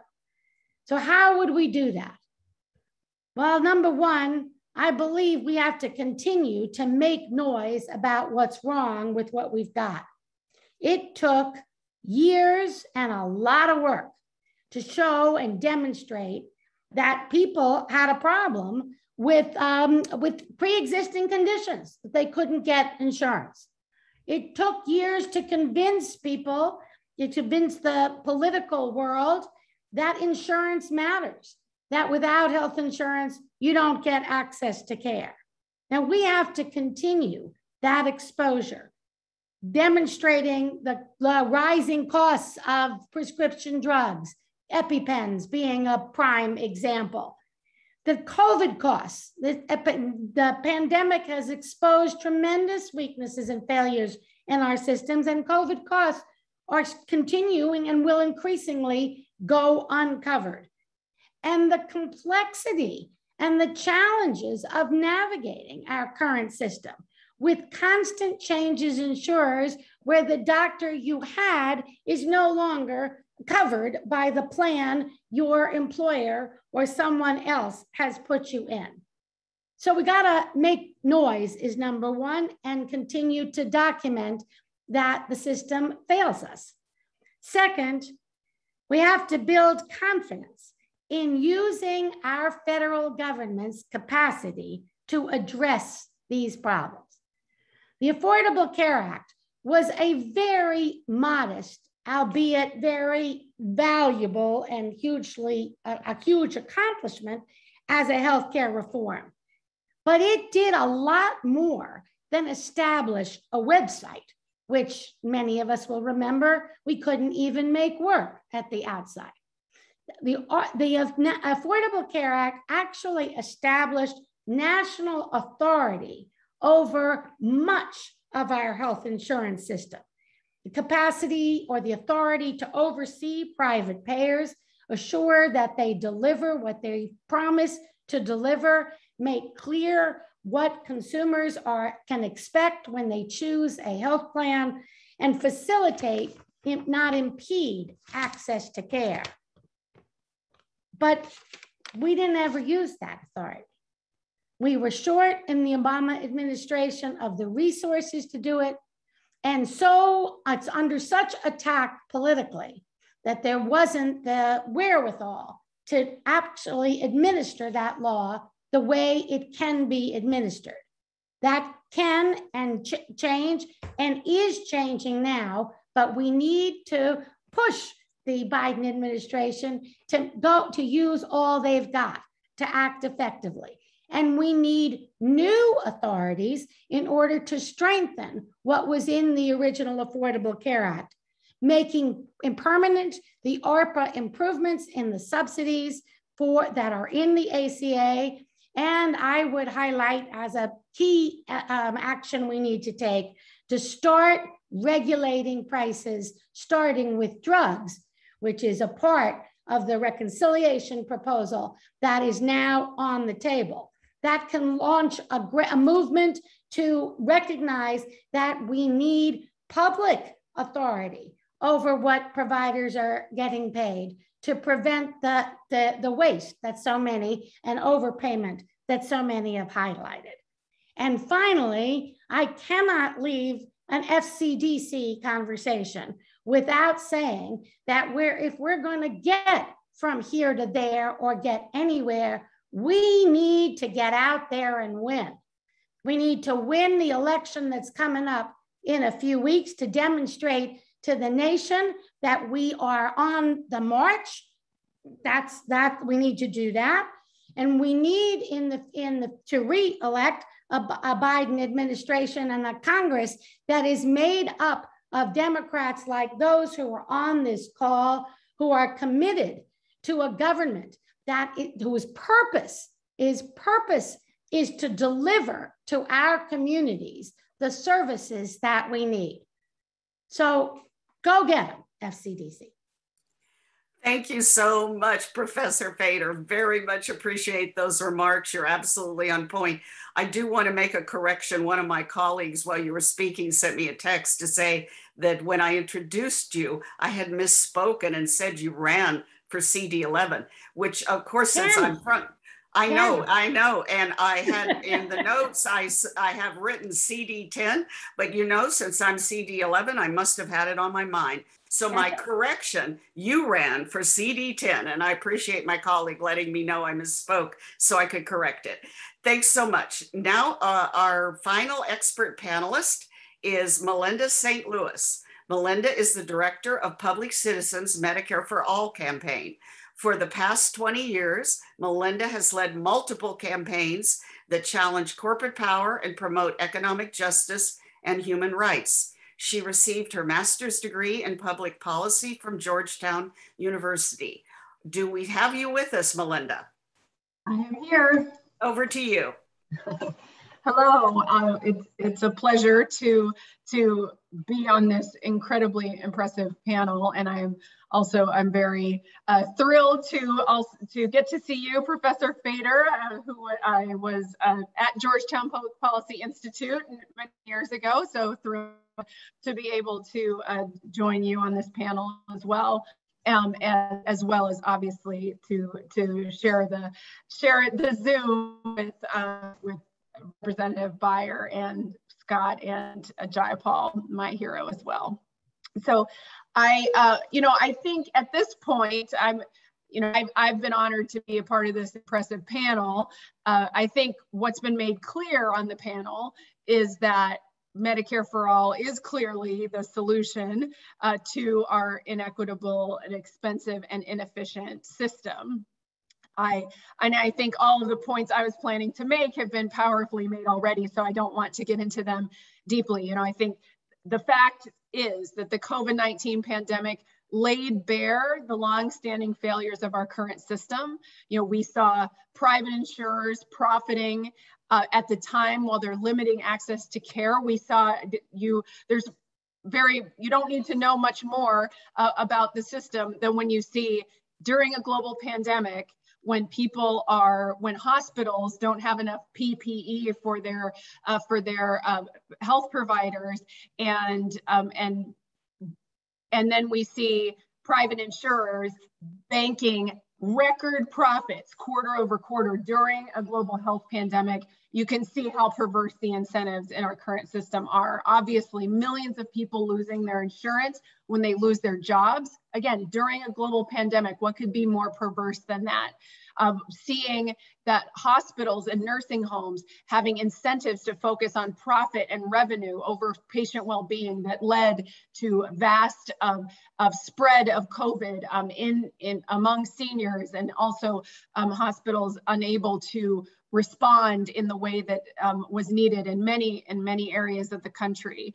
Our, our public health preparedness system lacking adequate funding because we've put so much effort into the uh, and, and, funding into the profit making side of healthcare and and starving our public health system uh, for years. And, uh, and, and obviously the massive health disparities that have been talked about um, that predate COVID, but that set up this, um, the, the massive um, disparities of what we saw in terms of COVID cases, deaths among um, people of color, particular, disproportionate, et cetera.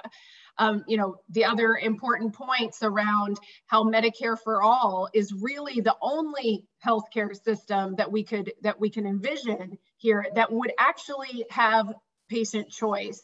You know, we talk a lot about choice um, and and spreading misinformation about Medicare for all, but what people want to be able to choose is their doctor. And with Medicare for All, there would be no in network anymore. Everybody in network or out of network, everyone would be in network under Medicare for All. So vastly more choice under Medicare for All. Can we afford Medicare for All? We can't afford the status quo. That is, I think, very clear from what uh, Professor Pollin said. We would save trillions overall um, in our uh, overall system and families, importantly, would be, except for the very, very wealthy, would be paying far less on healthcare when, than what they're currently paying. And, you know, and on and on. So I think the other panelists really made those points powerfully. And I just want to, to echo them what I want to say is, and to agree with Professor Feder as well, is that this is a political question. We, you know, the facts, you know, I think we have the facts on our side, we have the morality on our side, but what we need to do is change the politics of this. And that's what, you know, Public Citizen has been advocating along with um, our partners, Physicians for National Health Program, uh, other health, labor, business organizations, faith community, community organizations to build the base of support that we're going to need in order to be able to, to really challenge the strong corporate influence and power that is maintaining the status quo. The private insurance companies, big pharma, the large for-profit hospitals that are spending enormous sums of money to lobby on both sides of the aisle to um, against um, real reform on lots of issues and particularly on single payer healthcare because they do they want to protect those billions in profit. And that's why the way we win is to build a massive grassroots movement powerful enough to over, overcome the influence of those corporations. So um, just a, a, a, few things I just wanted to kind of get to the movement building side of, of this. We and a host of partner organizations that represent doctors, nurses, patients, workers, small business owners, community organizers are working across the country to build local coalitions to educate their neighbors and the local media about Medicare for All in order to counter all of the misinformation and lies that are being spread um, by the for-profit health industry and to develop pressure campaigns to convince their elected representatives to sign on as co-sponsors to the Medicare for All bills like um, the representatives on this call and to move the Medicare expansion pieces that we've talked about and build back better over the finish line to hold a representative accountable if they're if they're blocking important reforms. So building those local coalitions.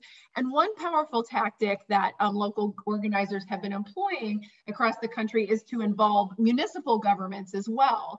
And I think that's relevant, you know, to the folks who are part of this uh, of this discussion uh, across Virginia. All across the country, city and town councils and county boards are passing resolutions in support of Medicare for all.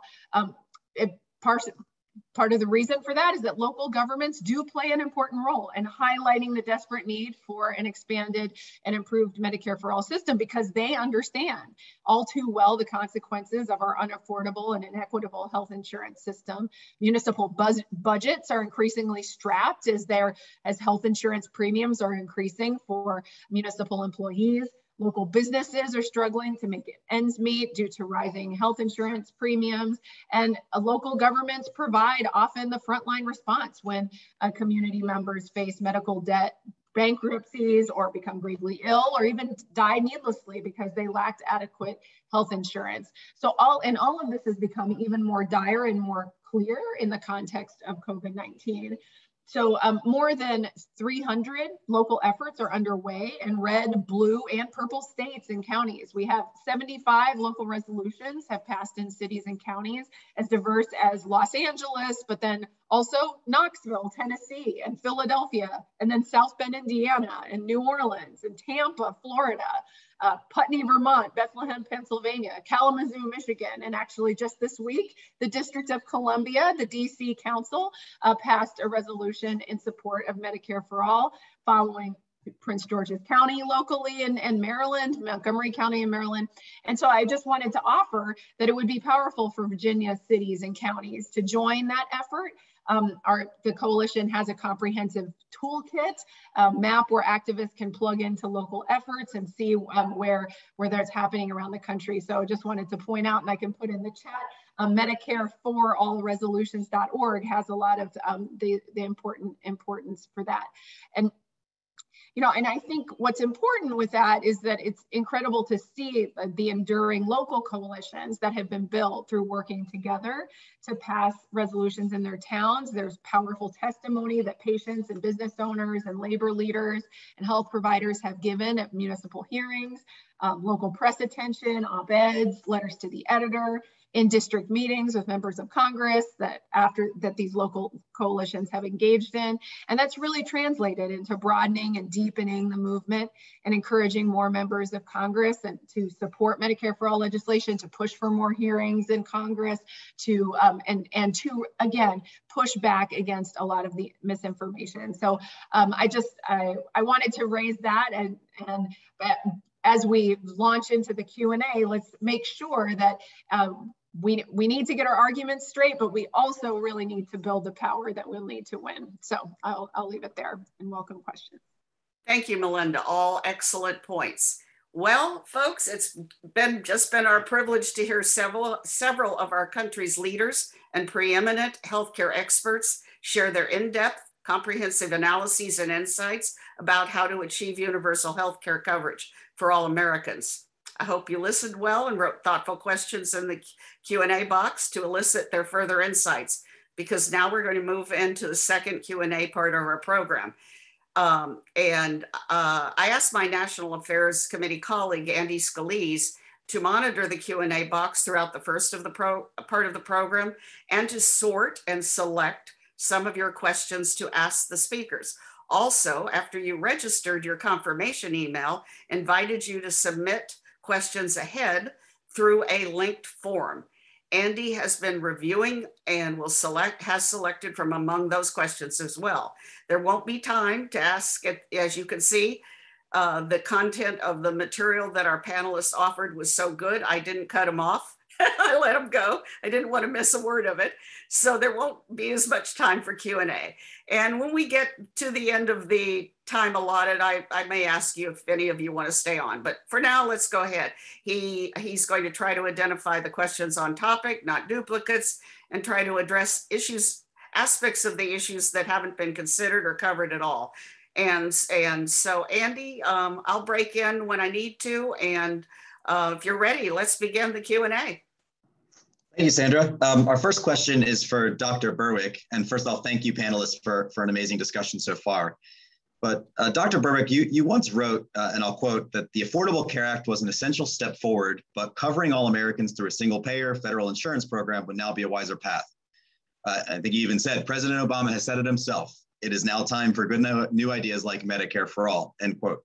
So uh, you touched on this a little bit, but could you please explain specifically kind of why single payer healthcare system like Medicare for all is superior to the alternatives that we hear offered, and in particular why it uh, why the public option may or may not be a viable alternative to single payer healthcare?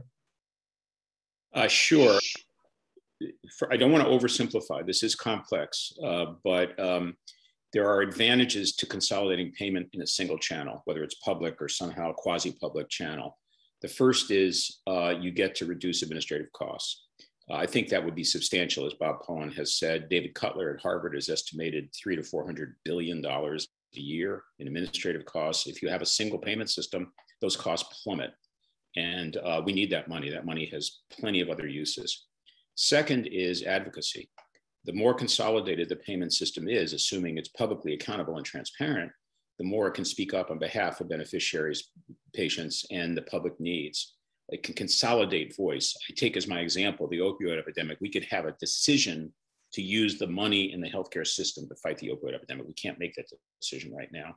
We could also have voice for shifting resources toward uh, upstream to the causes of illness that people have. So you get, you kind of get representation. When I showed up in my office in CMS every morning, I had to think about what the priorities were going to be for 110 million people, 60 million in Medicaid and 50 million in Medicare, and that's what I did. There's no, there's a single payer can do that, a multiple payer system doesn't. Third is it, it's easier for patients and families who then don't migrate among sources, and a lot of viscosity and cost get added for people when they migrate among uh, different parts of a very complex payment payment terrain. Uh, a fourth to me is um, is public accountability. Transparency matters, and uh, you know the lights are on on Medicare. You can you can do FOIAs and get information, or Congress has oversight. It's not always pretty, but it's transparent. That's not true of the private system. The fifth is the toll. When you have a um, multi-payer system uh, in private hands, as we do today, you have to think about the medical loss ratio and administrative costs and um, and um, the, the profit and overhead that are taken out of the system just because you have many different payers with different accountabilities. My overhead in Medicare was about maybe, well, it was technically 1%, but I always saw it was probably three or 4% because it included expenditures in labor and treasury and, and others. Um, so there's a lot of arguments. It's really hard to think about how to reduce costs dramatically without having a single payment channel. That's, that's sort of my belief. So that's some of the answers. I could go on, but I know we have, we're short on time. Thank you. Yeah, I want to make sure that we get uh, some really good questions in there, and I really appreciate your perspective on that. Uh, we'll move to another question. Uh, this is this was one that was pretty popular among among the Q and A box, both uh, in advance and, and in the and during the discussion tonight. So, Professor Pollin, uh, this this question is for you, and I'll kind of give some background. The, the Economic Policy Institute, uh, Josh Bivens, reports that his studies countered the critics' assertion that there would be this massive job loss and economic drain on the country when you adopt a single payer healthcare system because of the transitional period. Um, he found that his job that job losses during the transitional period would be uh, quote uh, relatively small, and that Medicare for all would be quote unambiguously positive uh, for the labor market in the United States, leading to again, quote, a boost in wages and salaries, as well as an increase in job quality while producing a net increase in jobs overall. Uh, one, just in general, do you concur with this analysis? Are there are there any anything that we need we need to caveat? And, and perhaps more importantly, um, just judging by the, the comments in the in the Q and A tonight, how, how do we explain this transition to to the to the American people uh, who seem to be pretty skeptical about whether that would be successful for us? Okay, so uh, thanks very much for the question. I didn't have time to get into it in my remarks, but it's a really critical question. I know Josh Bivens very well. I respect him a lot. I respect a lot of the people at the Economic Policy Institute. I don't agree uh, with his conclusion on that. Uh, I think, you know, when we do economics, there's various levels at which we know things. Uh, some things we know very well because the effects are direct and straightforward. Some things are more diffuse. Uh, the thing that we know when we implement Medicare for all is that we are going to dramatically reduce administrative costs. We're going to, the private health insurance system is out of business, okay, uh, altogether. In addition, at the offices of uh, healthcare providers, the degree of administrative uh, workers that are going to be doing the claims processing and so forth and validation, they also won't have much to do anymore. It's, I won't say it's down to zero, but that's the whole way we get savings. Let's acknowledge that. You don't get savings out of thin air. If we're going to get savings, that means we're going to spend less money. And the main thing we're going to spend less money on is having people do things that are wasteful.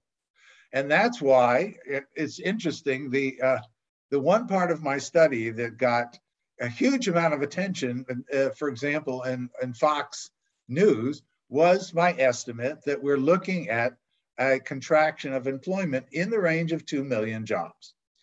Now, uh, I, I think that, that that's my estimate as to the elimination of the private health insurance system and uh, the uh, contraction of, of jobs, administrative jobs in the area of the providers.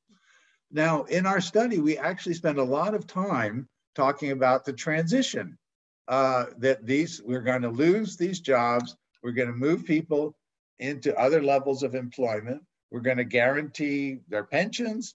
Uh, we're going to guarantee their wages. We're going to re-employ them. Uh, those are things that we need to focus on. Now, when Josh Bivens uh, criticized our study, what he was talking about are things that um, could happen. Um, but you know, at, at, a, at a much lower level of certainty. In other words, we're what what Josh is talking about is okay, we're moving to a more efficient healthcare system, and that will enable businesses to expand and operate in doing other things. That means also in addition, people will not have to. Everyone is going to have spend less money on healthcare. They're going to spend more money on other things. It also means that businesses won't have to spend so much money on shopping around for different healthcare private plans and worrying about that. They can focus on producing products. Um, I, I, would broadly agree with Josh that the net effect of that uh, is likely to be enhancing, productivity enhancing, job enhancing, but nowhere near the level of certainty when we say we are getting rid of private health insurance and we're going to save $400 billion. The only way that happens is if we're spending less money. You, you don't, you know, there is no trick here. So I will respectfully disagree with Josh. I don't know if he's listening now. I'm sure he is going to uh, dispute my my uh, arguments, but I think it's actually pretty straightforward. And I think it's especially important for proponents like us of Medicare for All to recognize the difficult challenges that we face on this. And the single biggest one, I would say, is that we get savings by reducing the wasteful employment. Thank you. Yeah, I think that's I think that's a, what a lot of people have to say. Um, since the, the, a couple of remaining questions are rather technical, um, I'd like to go to, and, and we may take more time past nine o'clock. I'd like to go to a question for our Congressman, uh, Congressman Beyer and Congressman Scott real quick. Um, and again, I appreciate appreciate y'all here. The, the question we have is, is we, we, we kind of see that this idea of universal single payer healthcare is very popular with the American public, yet recent votes in Congress don't reflect the same level of support. Uh, of course, Congressman and Scott, you both voted with your constituents and co-sponsor HR 1976, the Medicare for All Act of 2021. Why do you think many of your colleagues in Congress aren't in line with the popular opinion on this? Um, what are you doing to bring them along? And then what can we do to help you bring them along? Let me defer to Chairman Scott if I can, Well, and I'll okay. pile on. I, think we are, one of the uh, concerns is the transition. We know where we want to end up. But the problem with ending up there immediately is that the message that a politician would have to deliver is, I'm going to raise your taxes $3 trillion. You're going to drop your insurance and trust us, there'll be better insurance in the end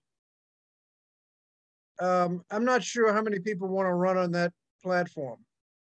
What we have done and what a credible path to that to to where we all want to be is to continue. One, we got to get a public option as on the um, uh, on the Affordable Care Act.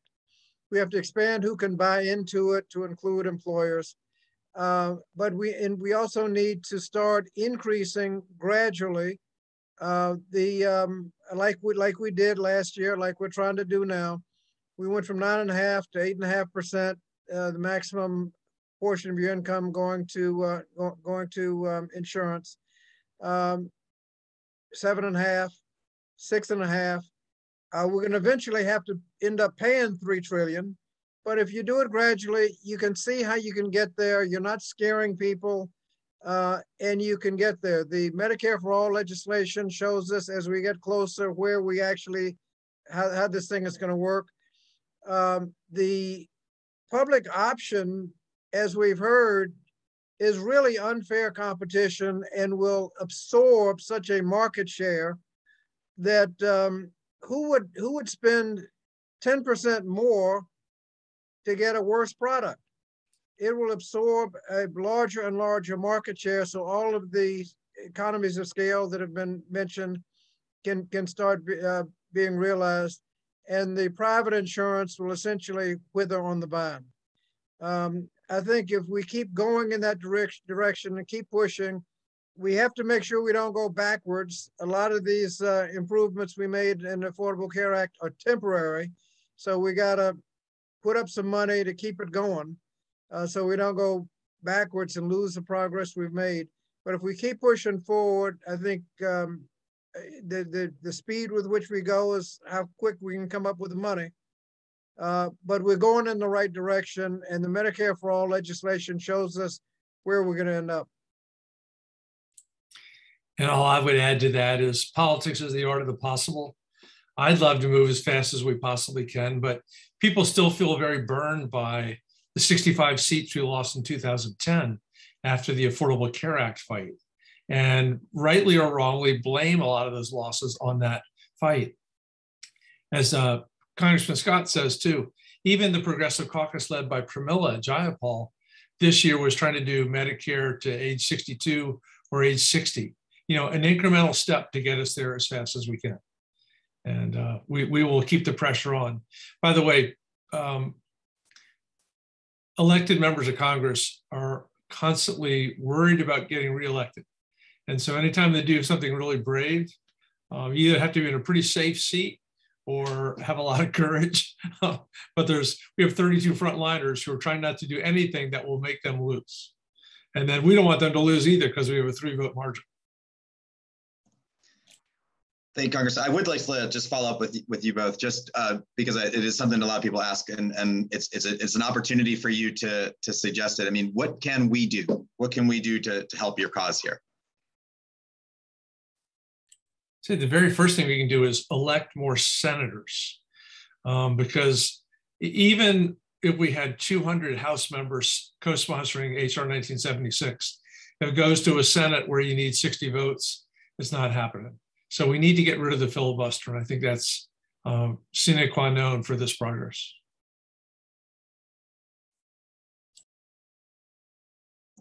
Okay, thank you both. Um, I have two more questions, again, a little bit more technical, and uh, and and really, I, I Sandra, I, I, would like to open it up to, to kind of all of the experts on the panel because everybody kind of mentioned Med Medicare at some point in their in their presentations tonight. And a very specific question we got was regarding Medicare Advantage and how it's essentially a feels like a Trojan horse to privatize Medicare.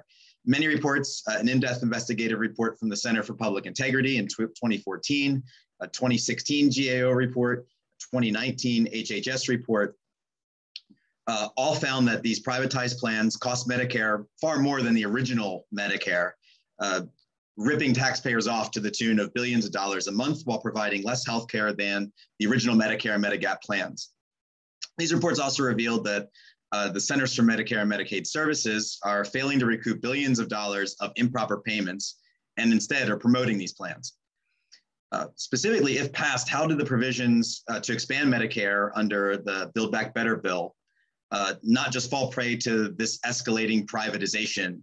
And do these, do these make single payer healthcare systems like Medicare for All even more difficult to implement?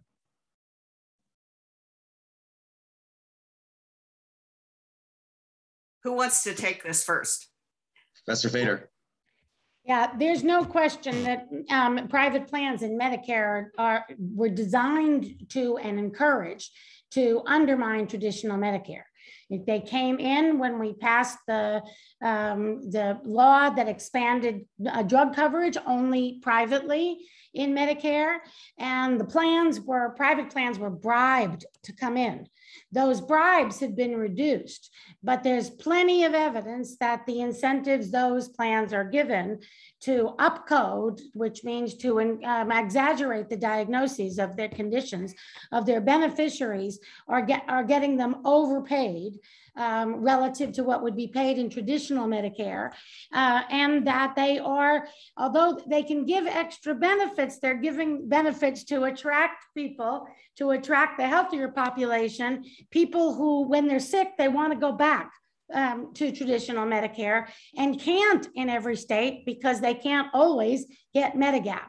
So I can't speak to what is in reconciliation. What I would like to see in reconciliation is that we pull back those overpayments and essentially improve benefits, which is in proposals for reconciliation, improve the benefits in traditional Medicare so that we don't continue to advantage private plans and make them look more attractive.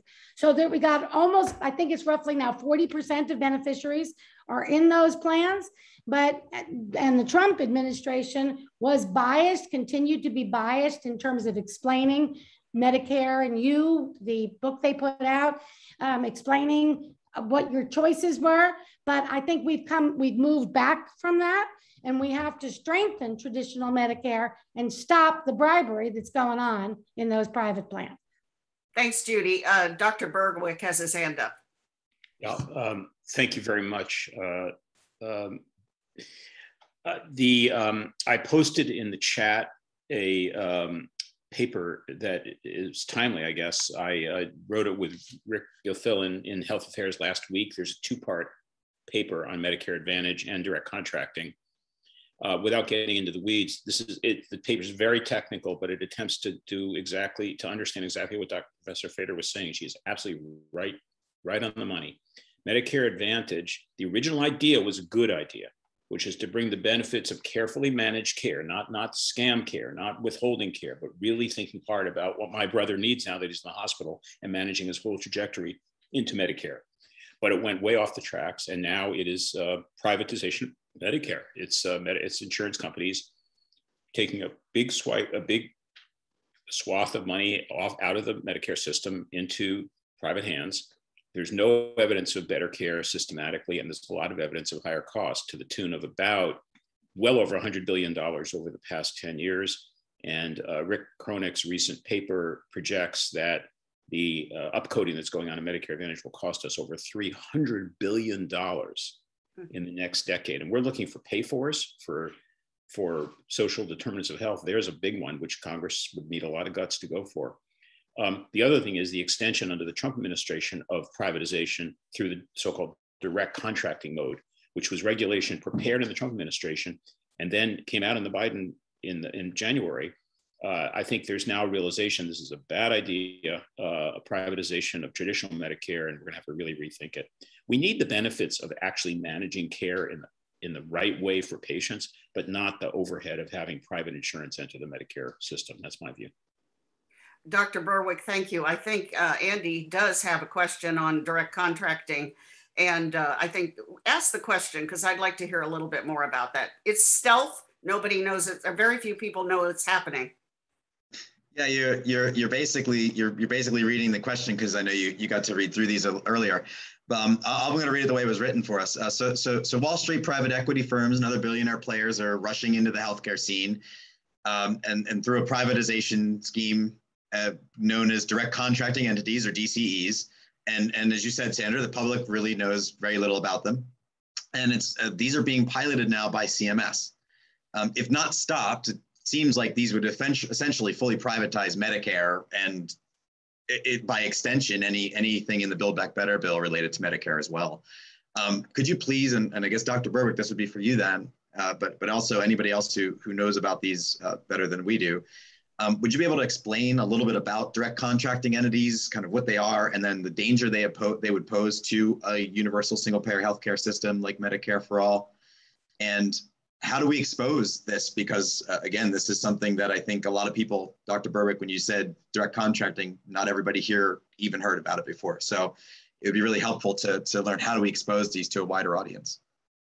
Thanks, Andrew. Well, complexity is in our way. One of the reasons the system doesn't change is it's been built for complexity. And so it's really hard to explain to the public. I ran Medicare and I don't understand a lot of it, I must say. But direct con- here's what direct contracting is. If you look at the Medicare population, about 40 or 42% of them are now covered by private insurance plans. That's Medicare Advantage, Part C, where the government doesn't pay for your care. It pays an insurance company to then cover your care through a health plan. It's privatization.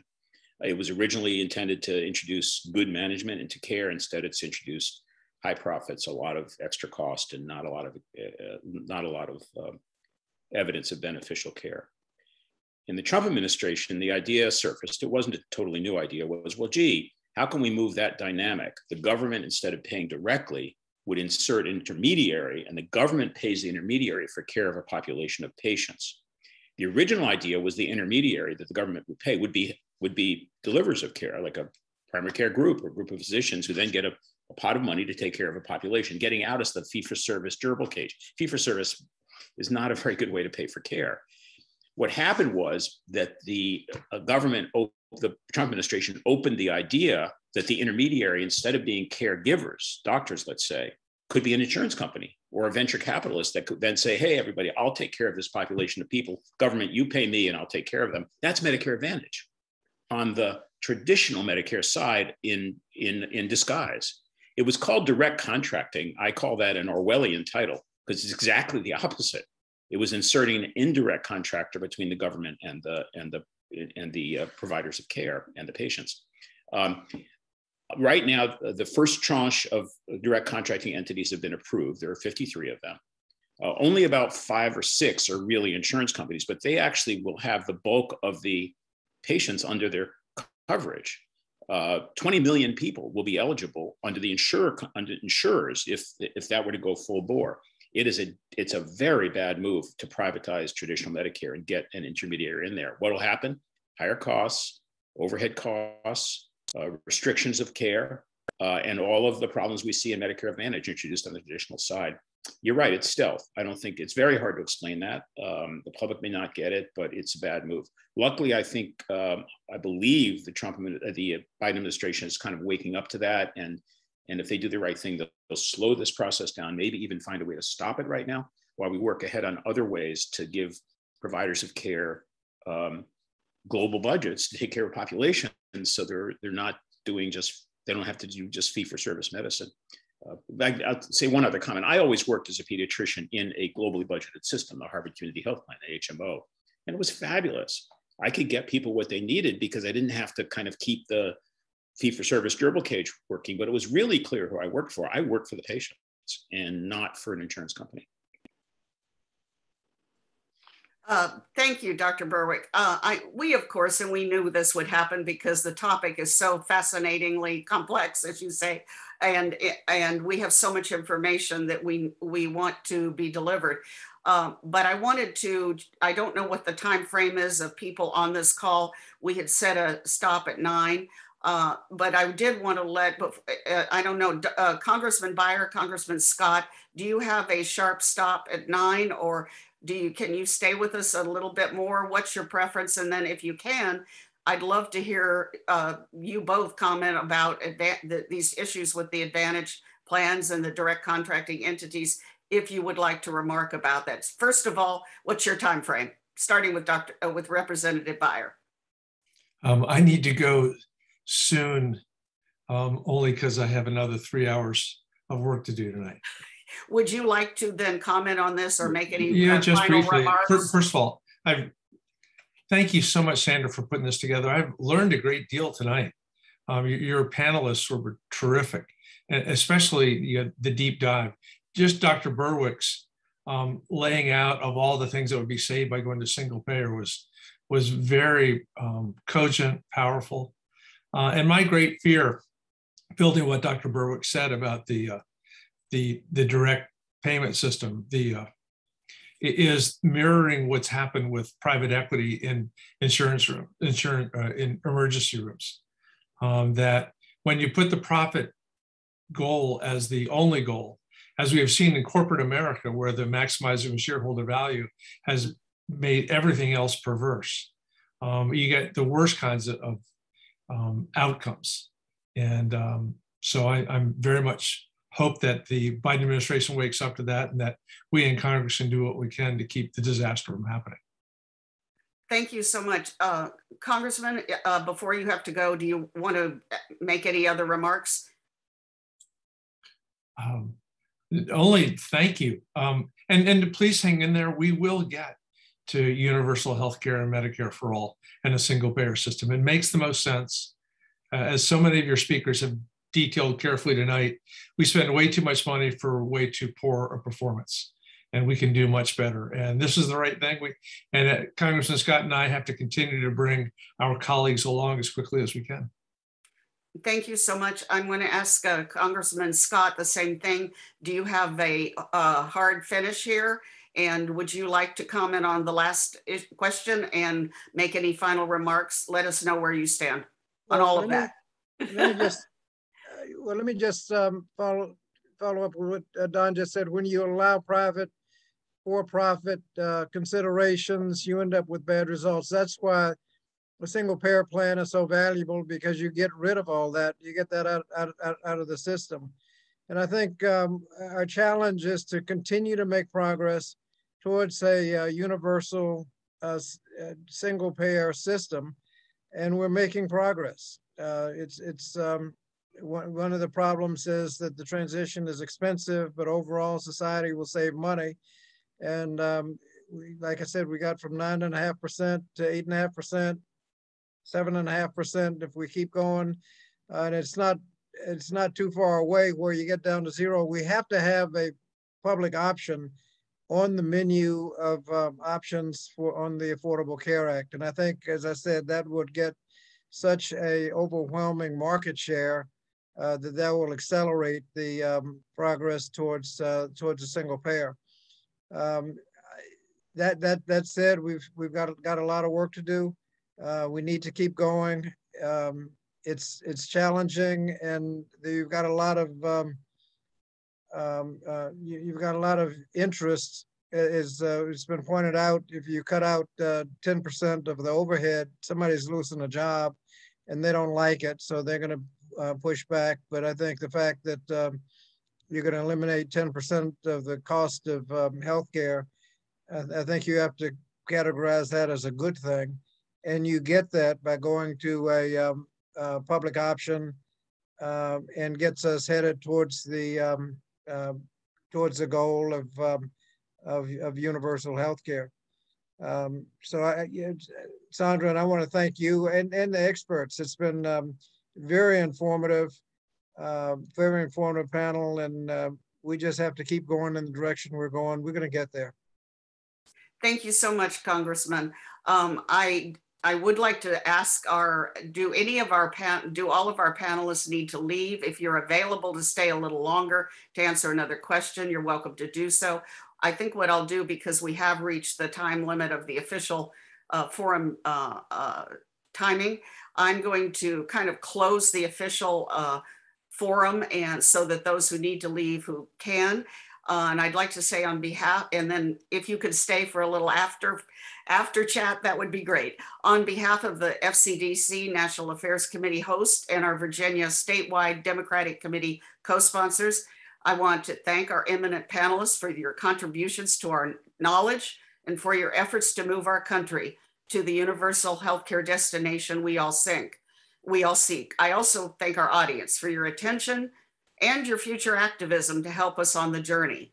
Of course, as Professor Feder emphasized so well, we can't do any of this unless Democrats win our elections. We know that. The Democratic Party is the only party that cares about your health care. We do know that. And we in Virginia have an important election in Virginia in this year, and the polls are open now for early voting. So Virginians get out there and vote. Um, and I want to say to those of you in the audience, uh, what do you think? Can you see USPHC in our future? I hope so. Let's get the work done. And uh, this completes our official forum. Thank you so much for joining us. Uh, we wish you good night and good health care for everyone who has to leave. And we'll hold a few minutes for those who have to depart. And if any of our panelists and, and uh, audience wants to stay for maybe one or two more questions, we welcome them to do so. Thank you so much.